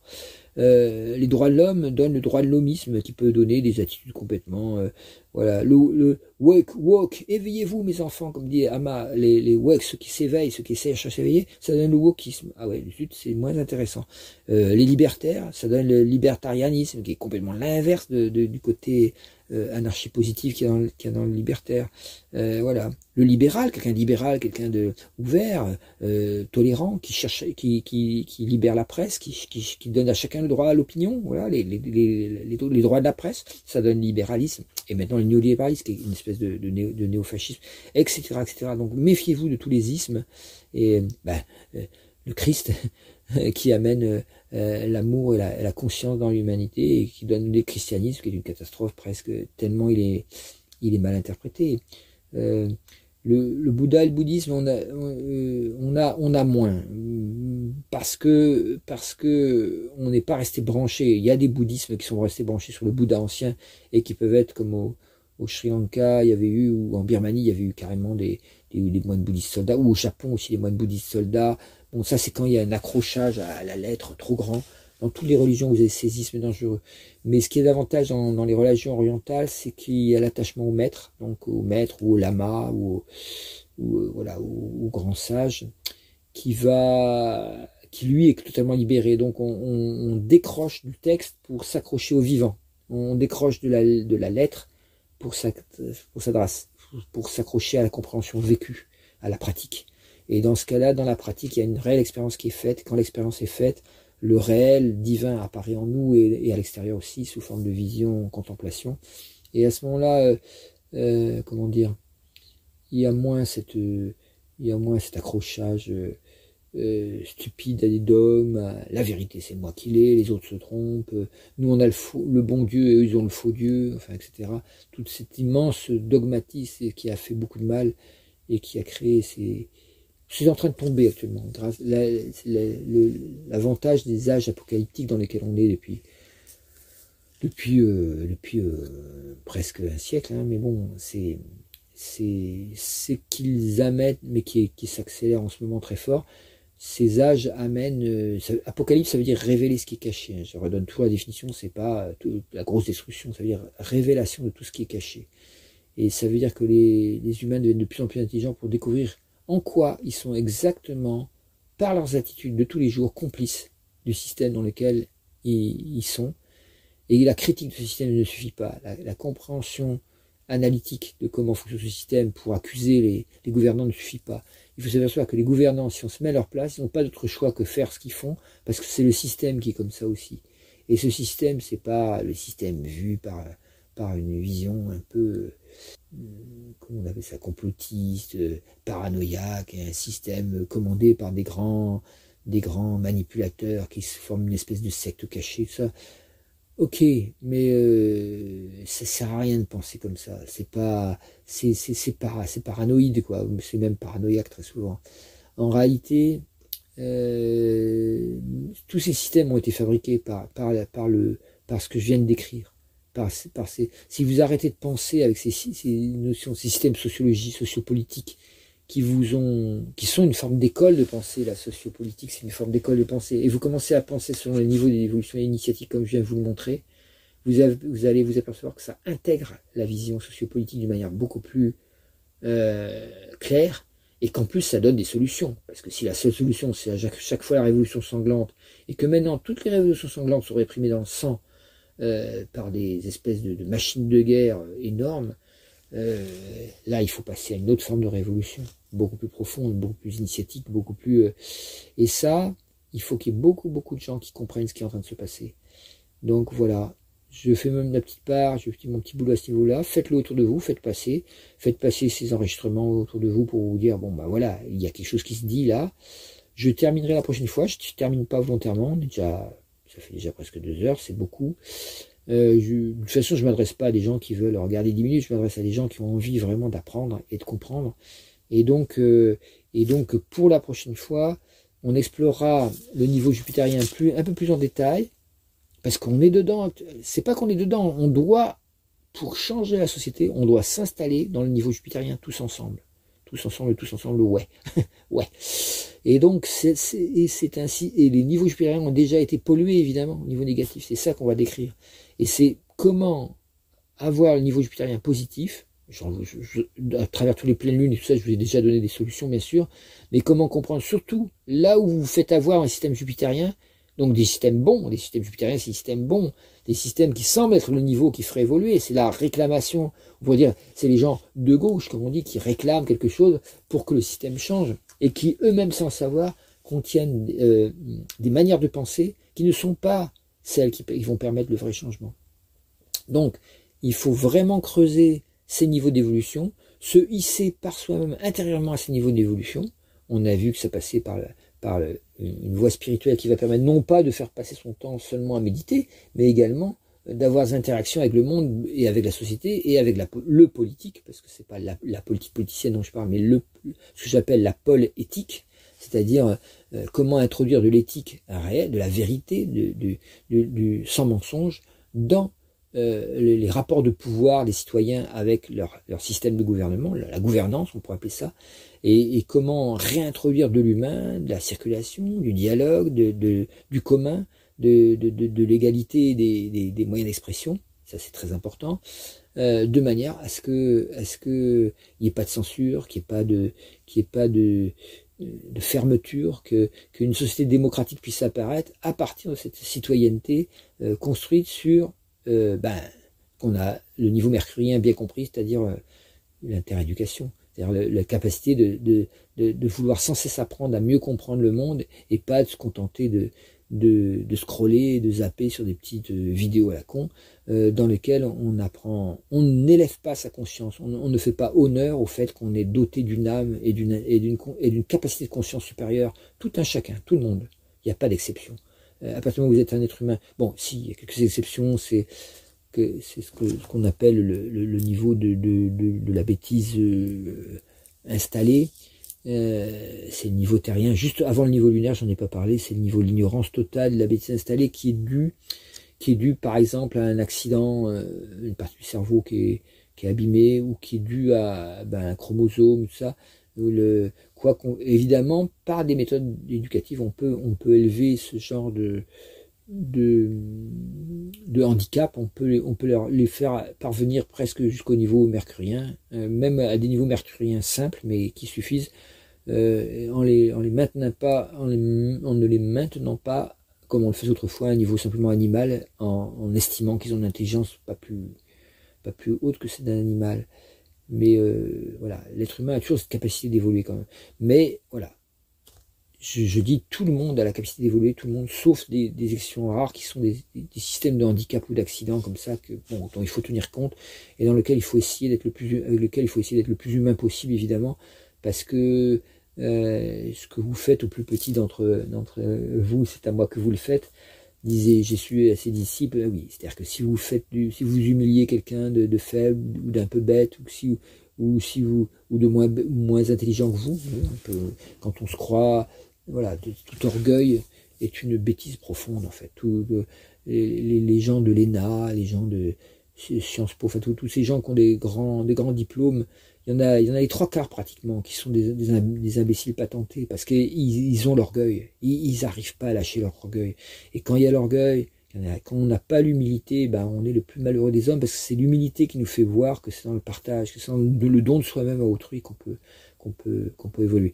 Là, je vous ai en partie dévoilé le niveau jupitérien. On verra ça la prochaine fois. Voilà. Merci de votre écoute et on est à presque deux heures de euh, de route là, j'ai envie de dire. Profitez bien de cette pleine lune. Rappelez-vous, méditez plus souvent pour la pleine lune. Euh, bon là, j'arrive un peu trop tard pour le dire, mais vous le savez maintenant. Pendant les, un jour avant, le jour à pleine lune les jours suivants, et augmentez les sessions de méditation. Faites-en plusieurs si vous ne pouvez pas faire des méditations de plus de 20 minutes, par exemple. Bah, faites-en plusieurs de manière à atteindre au moins deux heures de méditation la journée. Euh, il y en a qui vont dire ah oui mais j'ai ci j'ai ça à faire. Non non non. Vous perdrez pas votre temps si vous faites ça parce que parce que c'est le moment où tous les maîtres du monde entier qu'ils soient euh, amérindiens qu'ils soient euh, en, Sibérie au Tibet en Inde en Afrique partout il y a des il y a des ou, même en Europe évidemment il y a des grands êtres spirituels qui qui prient et qui méditent à ce moment-là de manière et et et la et la lune sert de réflecteur la lune sert de comment dire de c'est comme si renvoyé par sa lumière nos capacités maximales d'intelligence consciente, nos, capacités maximum maximales de monter dans cette échelle d'évolution que viens de décrire, qu'on peut appeler l'échelle de Jacob si on veut. On l'appellera l'échelle de Jackie si vous voulez. voilà, évidemment, elle ne m'appartient pas puisque elle est revue et corrigée par, par euh, ce que j'ai euh, enseigné dans l'astrologie universelle à la mutation, mais disons que c'est l'outil le plus ancien du monde puisque vous l'avez tous les jours sous le nez dans votre calendrier, lundi, mardi, mercredi, jeudi, vendredi, samedi, dimanche. Rappelez-vous d'utiliser le calendrier comme ça. Ça va vous aider peut-être à monter. En particulier du passage du mercredi au jeudi, faites pas n'importe quoi parce que c'est, c'est, quand vous, si vous réussissez ce passage-là correctement, si vous réussissez ce passage de, de la recherche de bouquins qui parle de spiritualité au moment où vous commencez à pratiquer, si vous faites ce passage-là, alors vous aidez toute l'humanité à faire ce passage-là aussi. Il n'y a rien qui est séparé, c'est une pure illusion. Voilà, bonne continuation à tous et bonne méditation. Et merci pour votre patience de m'écouter. Et faites, passer, faites passer, mettez des petits pouces et faites passer pour que, pour que ce genre de... Mais faites passer à des gens qui sont intéressés. Hein, parce que ce genre d'enseignement que je viens de donner, c'est pas à mettre entre toutes les mains, ça peut être euh, très mal compris. En particulier, une chose importante, ah oui, une dernière chose à se rappeler, je l'ai dit maintenant, vous ne pouvez pas juger quelqu'un qui a un niveau d'évolution supérieur au vôtre qui est en train de travailler, parce que tout le monde travaille sur son niveau pour aller au niveau suivant. Donc c'est pas quelqu'un qui est en train de travailler sur un niveau supérieur à vous pour monter sur un niveau supérieur à là où il est. Ce qu'il fait et la manière dont il le fait, vous ne pouvez pas le juger. si vous le faites, vous n'allez faire, vous n'allez faire que projeter vos contenus intérieurs pathologiques sur ce que vous croyez qu'il fait et où ce croyez qu'il pense, que vous croyez qu'il qu'il sent. Et en faisant ça, vous vous, vous, vous limitez dans votre propre capacité à monter sur le chemin d'évolution. Faites très attention à la critique, faites très attention à... C'est pour ça qu'il faut euh, qu'il faut jamais critiquer, parce qu'on ne sait pas à qui on a affaire. Quelquefois, les gens... moi, j'ai vu des maîtres, j'ai connu des maîtres qui paraissent vraiment être, mais vraiment, des petits bonhommes moins que rien, quoi, qui se qui, qui payent pas de mine. C'est pas forcément... Euh, on sait que les hindous, les tibétains, les tibétains enfilent des toques, parce qu'ils appartiennent à des ordres religieux, hein. ils, comme, ils font un peu comme les évêques, ils enfilent des toques euh, qui montrent qu'ils sont à un très haut niveau. C'est la manière qu'ont les tibétains ont d'honorer leur, grand lama. Euh, c'est ce qui existait autrefois avec la, coiffe des évêques, sauf que maintenant la, coiffe des évêques, elle, est, peut être mise sur la tête d'imbéciles, ça revient au même. Il hein. n'y a, plus cette vérification par des grands maîtres que quelqu'un est vraiment un maître et non pas un imposteur. La foire aux imposteurs, elle a lieu depuis des siècles et des siècles dans l'Église catholique. Heureusement, il y a quelques, papes, comme celui qui est là actuellement, François, Ier. il est pas mal, quoi, par rapport euh, à tout ce qu'il y a eu avant, c'est quand même mieux. Voilà. Donc c'est pour juste pour vous dire que ne critiquez pas, voilà, ne critiquez pas les niveaux supérieurs à votre propre niveau, ou, ou ne critiquez pas jamais personne, parce que de toute façon, si vous vous trompez sur le niveau d'évolution de la personne, la projection que vous allez faire va vous revenir comme un boomerang avec multiplié par la puissance de différence entre votre niveau et celui, mettons, si quelqu'un au niveau lunaire qui critique quelqu'un au niveau jupitérien, c'est ce qui se passe très très souvent, les gens qui parlent de secte quand, alors qu'ils ont affaire à quelqu'un qui médite tous les jours, ces gens-là euh, ont un, effet retour boomerang qui fait que leur critique va leur revenir en négatif, va les rendre très tristes et très, et très puisqu'ils sont en train de critiquer quelqu'un qui devrait suivre et, dont ils devraient s'inspirer. Donc, quand ils le critiquent, c'est comme si ce, reprenez le proverbe, c'est un proverbe des Comanches, je crois, ou des Chênes, je sais plus, enfin un proverbe amérindien, ça je suis sûr, qui disait, euh, euh, ne crache pas, ne crache pas vers le ciel, sinon ça te retombera sur la gueule. c'est assez simple, c'est rigolo, mais c'est pas mal. Ça veut dire que attention, euh, donc si vous crachez sur plus haut que vous, ça vous retombe sur la gueule, mais, beaucoup plus fort, parce que c'est ça que veut dire les karmas. Il y a une blague qui, circule souvent dans les milieux spirituels, ah oui, euh, t'as pas le droit de critiquer un maître, sinon t'as 10 000 incarnations de crapauds. Euh, il y avait des espèces de légendes comme ça qui circulaient dans les, milieux, tibétains ou hindous. Bon, c'est des, c'est des, c'est des fadaises évidemment. Peut-être des gens du peuple y croyaient, ils avaient un peu peur quand même, mais du, coup ça les calmait à ce niveau-là. Mais c'est pas mauvais si on si on calme les imbéciles en les empêchant d'être extrêmement virulents et critiques, euh, bah, il y aurait moins de trolls sur Internet, il y aurait moins de, de, de méchanceté échangée sur les réseaux sociaux. Hein. Si on disait, ah, à chaque fois que tu échanges méchamment sur les réseaux sociaux et que tu te crois supérieur en insultant l'autre, en le faisant passer pour moins que rien, en essayant de l'humilier, eh ben, eh ben, tu, tu te prépares deux incarnations de crapaud. Tu vois ce que c'est un crapaud, tu vois comment ça vit, c'est pas marrant, hein. Tu risques d'être écrasé par des bagnoles, enfin, c'est horrible. Voilà, bon, voilà, ben, peut-être il y aurait moins de, trolls. Écoutez, ce que je vous conseille, c'est sur vos propres réseaux sociaux, essayez de mettre ce petit conseil-là. peut-être ça va, ça va diminuer la, la, violence des propos des, de ceux qui sont au niveau lunaire. En tout cas, rappelez-vous de ça. Ne, ne jugez pas, ne critiquez pas, parce que, euh, par contre, sachez que quelqu'un qui a un niveau supérieur au vôtre et qui se trompe pas de niveau, et qui voit, parce qu'il est lui-même passé par là, que vous êtes sur ce niveau-là et qui vous, aide, celui-là, en général, il n'est pas, il, en général, n'est pas en train d'essayer de vous dominer, il est en train d'essayer de vous aider, et d'une, et de deux, euh, donc la, hiérarchie des, niveaux d'évolution existe, et c'est pas une hiérarchie de pouvoir, c'est une hiérarchie d'amour. Il y a l'amour du pouvoir ou le pouvoir de l'amour, faut choisir, et c'est pas la même chose. Et en, et en plus, euh, il est évident que euh, ce qui vous apprend peut vous surprendre, peut vous choquer, peut vous paraître complètement idiot parfois, mais faites l'effort de pas faire, euh, retourner faire référence à vos opinions habituelles. Faites l'effort de réfléchir très profondément à ce qu'il vous a dit, de relire s'il vous l'a écrit, de parce que dans ce qui est écrit, dans ce qui est lu, dans ce qui est imprimé dans un bouquin ou ça, ou dans, dans, les bouquins clés de, dans les enseignements, il y a quelque chose de très très précieux qui est caché, et la partie de vous qui le comprend va petit à petit se nourrir de ça et, grandir, et cette partie c'est votre âme. Donc rappelez-vous de ça bien aussi. Bon voilà, c'était des petits conseils fi final. Évidemment, je pense que euh, cet enregistrement est, assez bon pour, euh, pour servir de, de, de vademecum initiatique à beaucoup de gens actuellement qui sont paumés dans, dans le nouvel âge et dans les, et dans les fausses voies et dans des mélanges euh, un peu euh, nouillage, comme ils appellent ça. le, nouillage.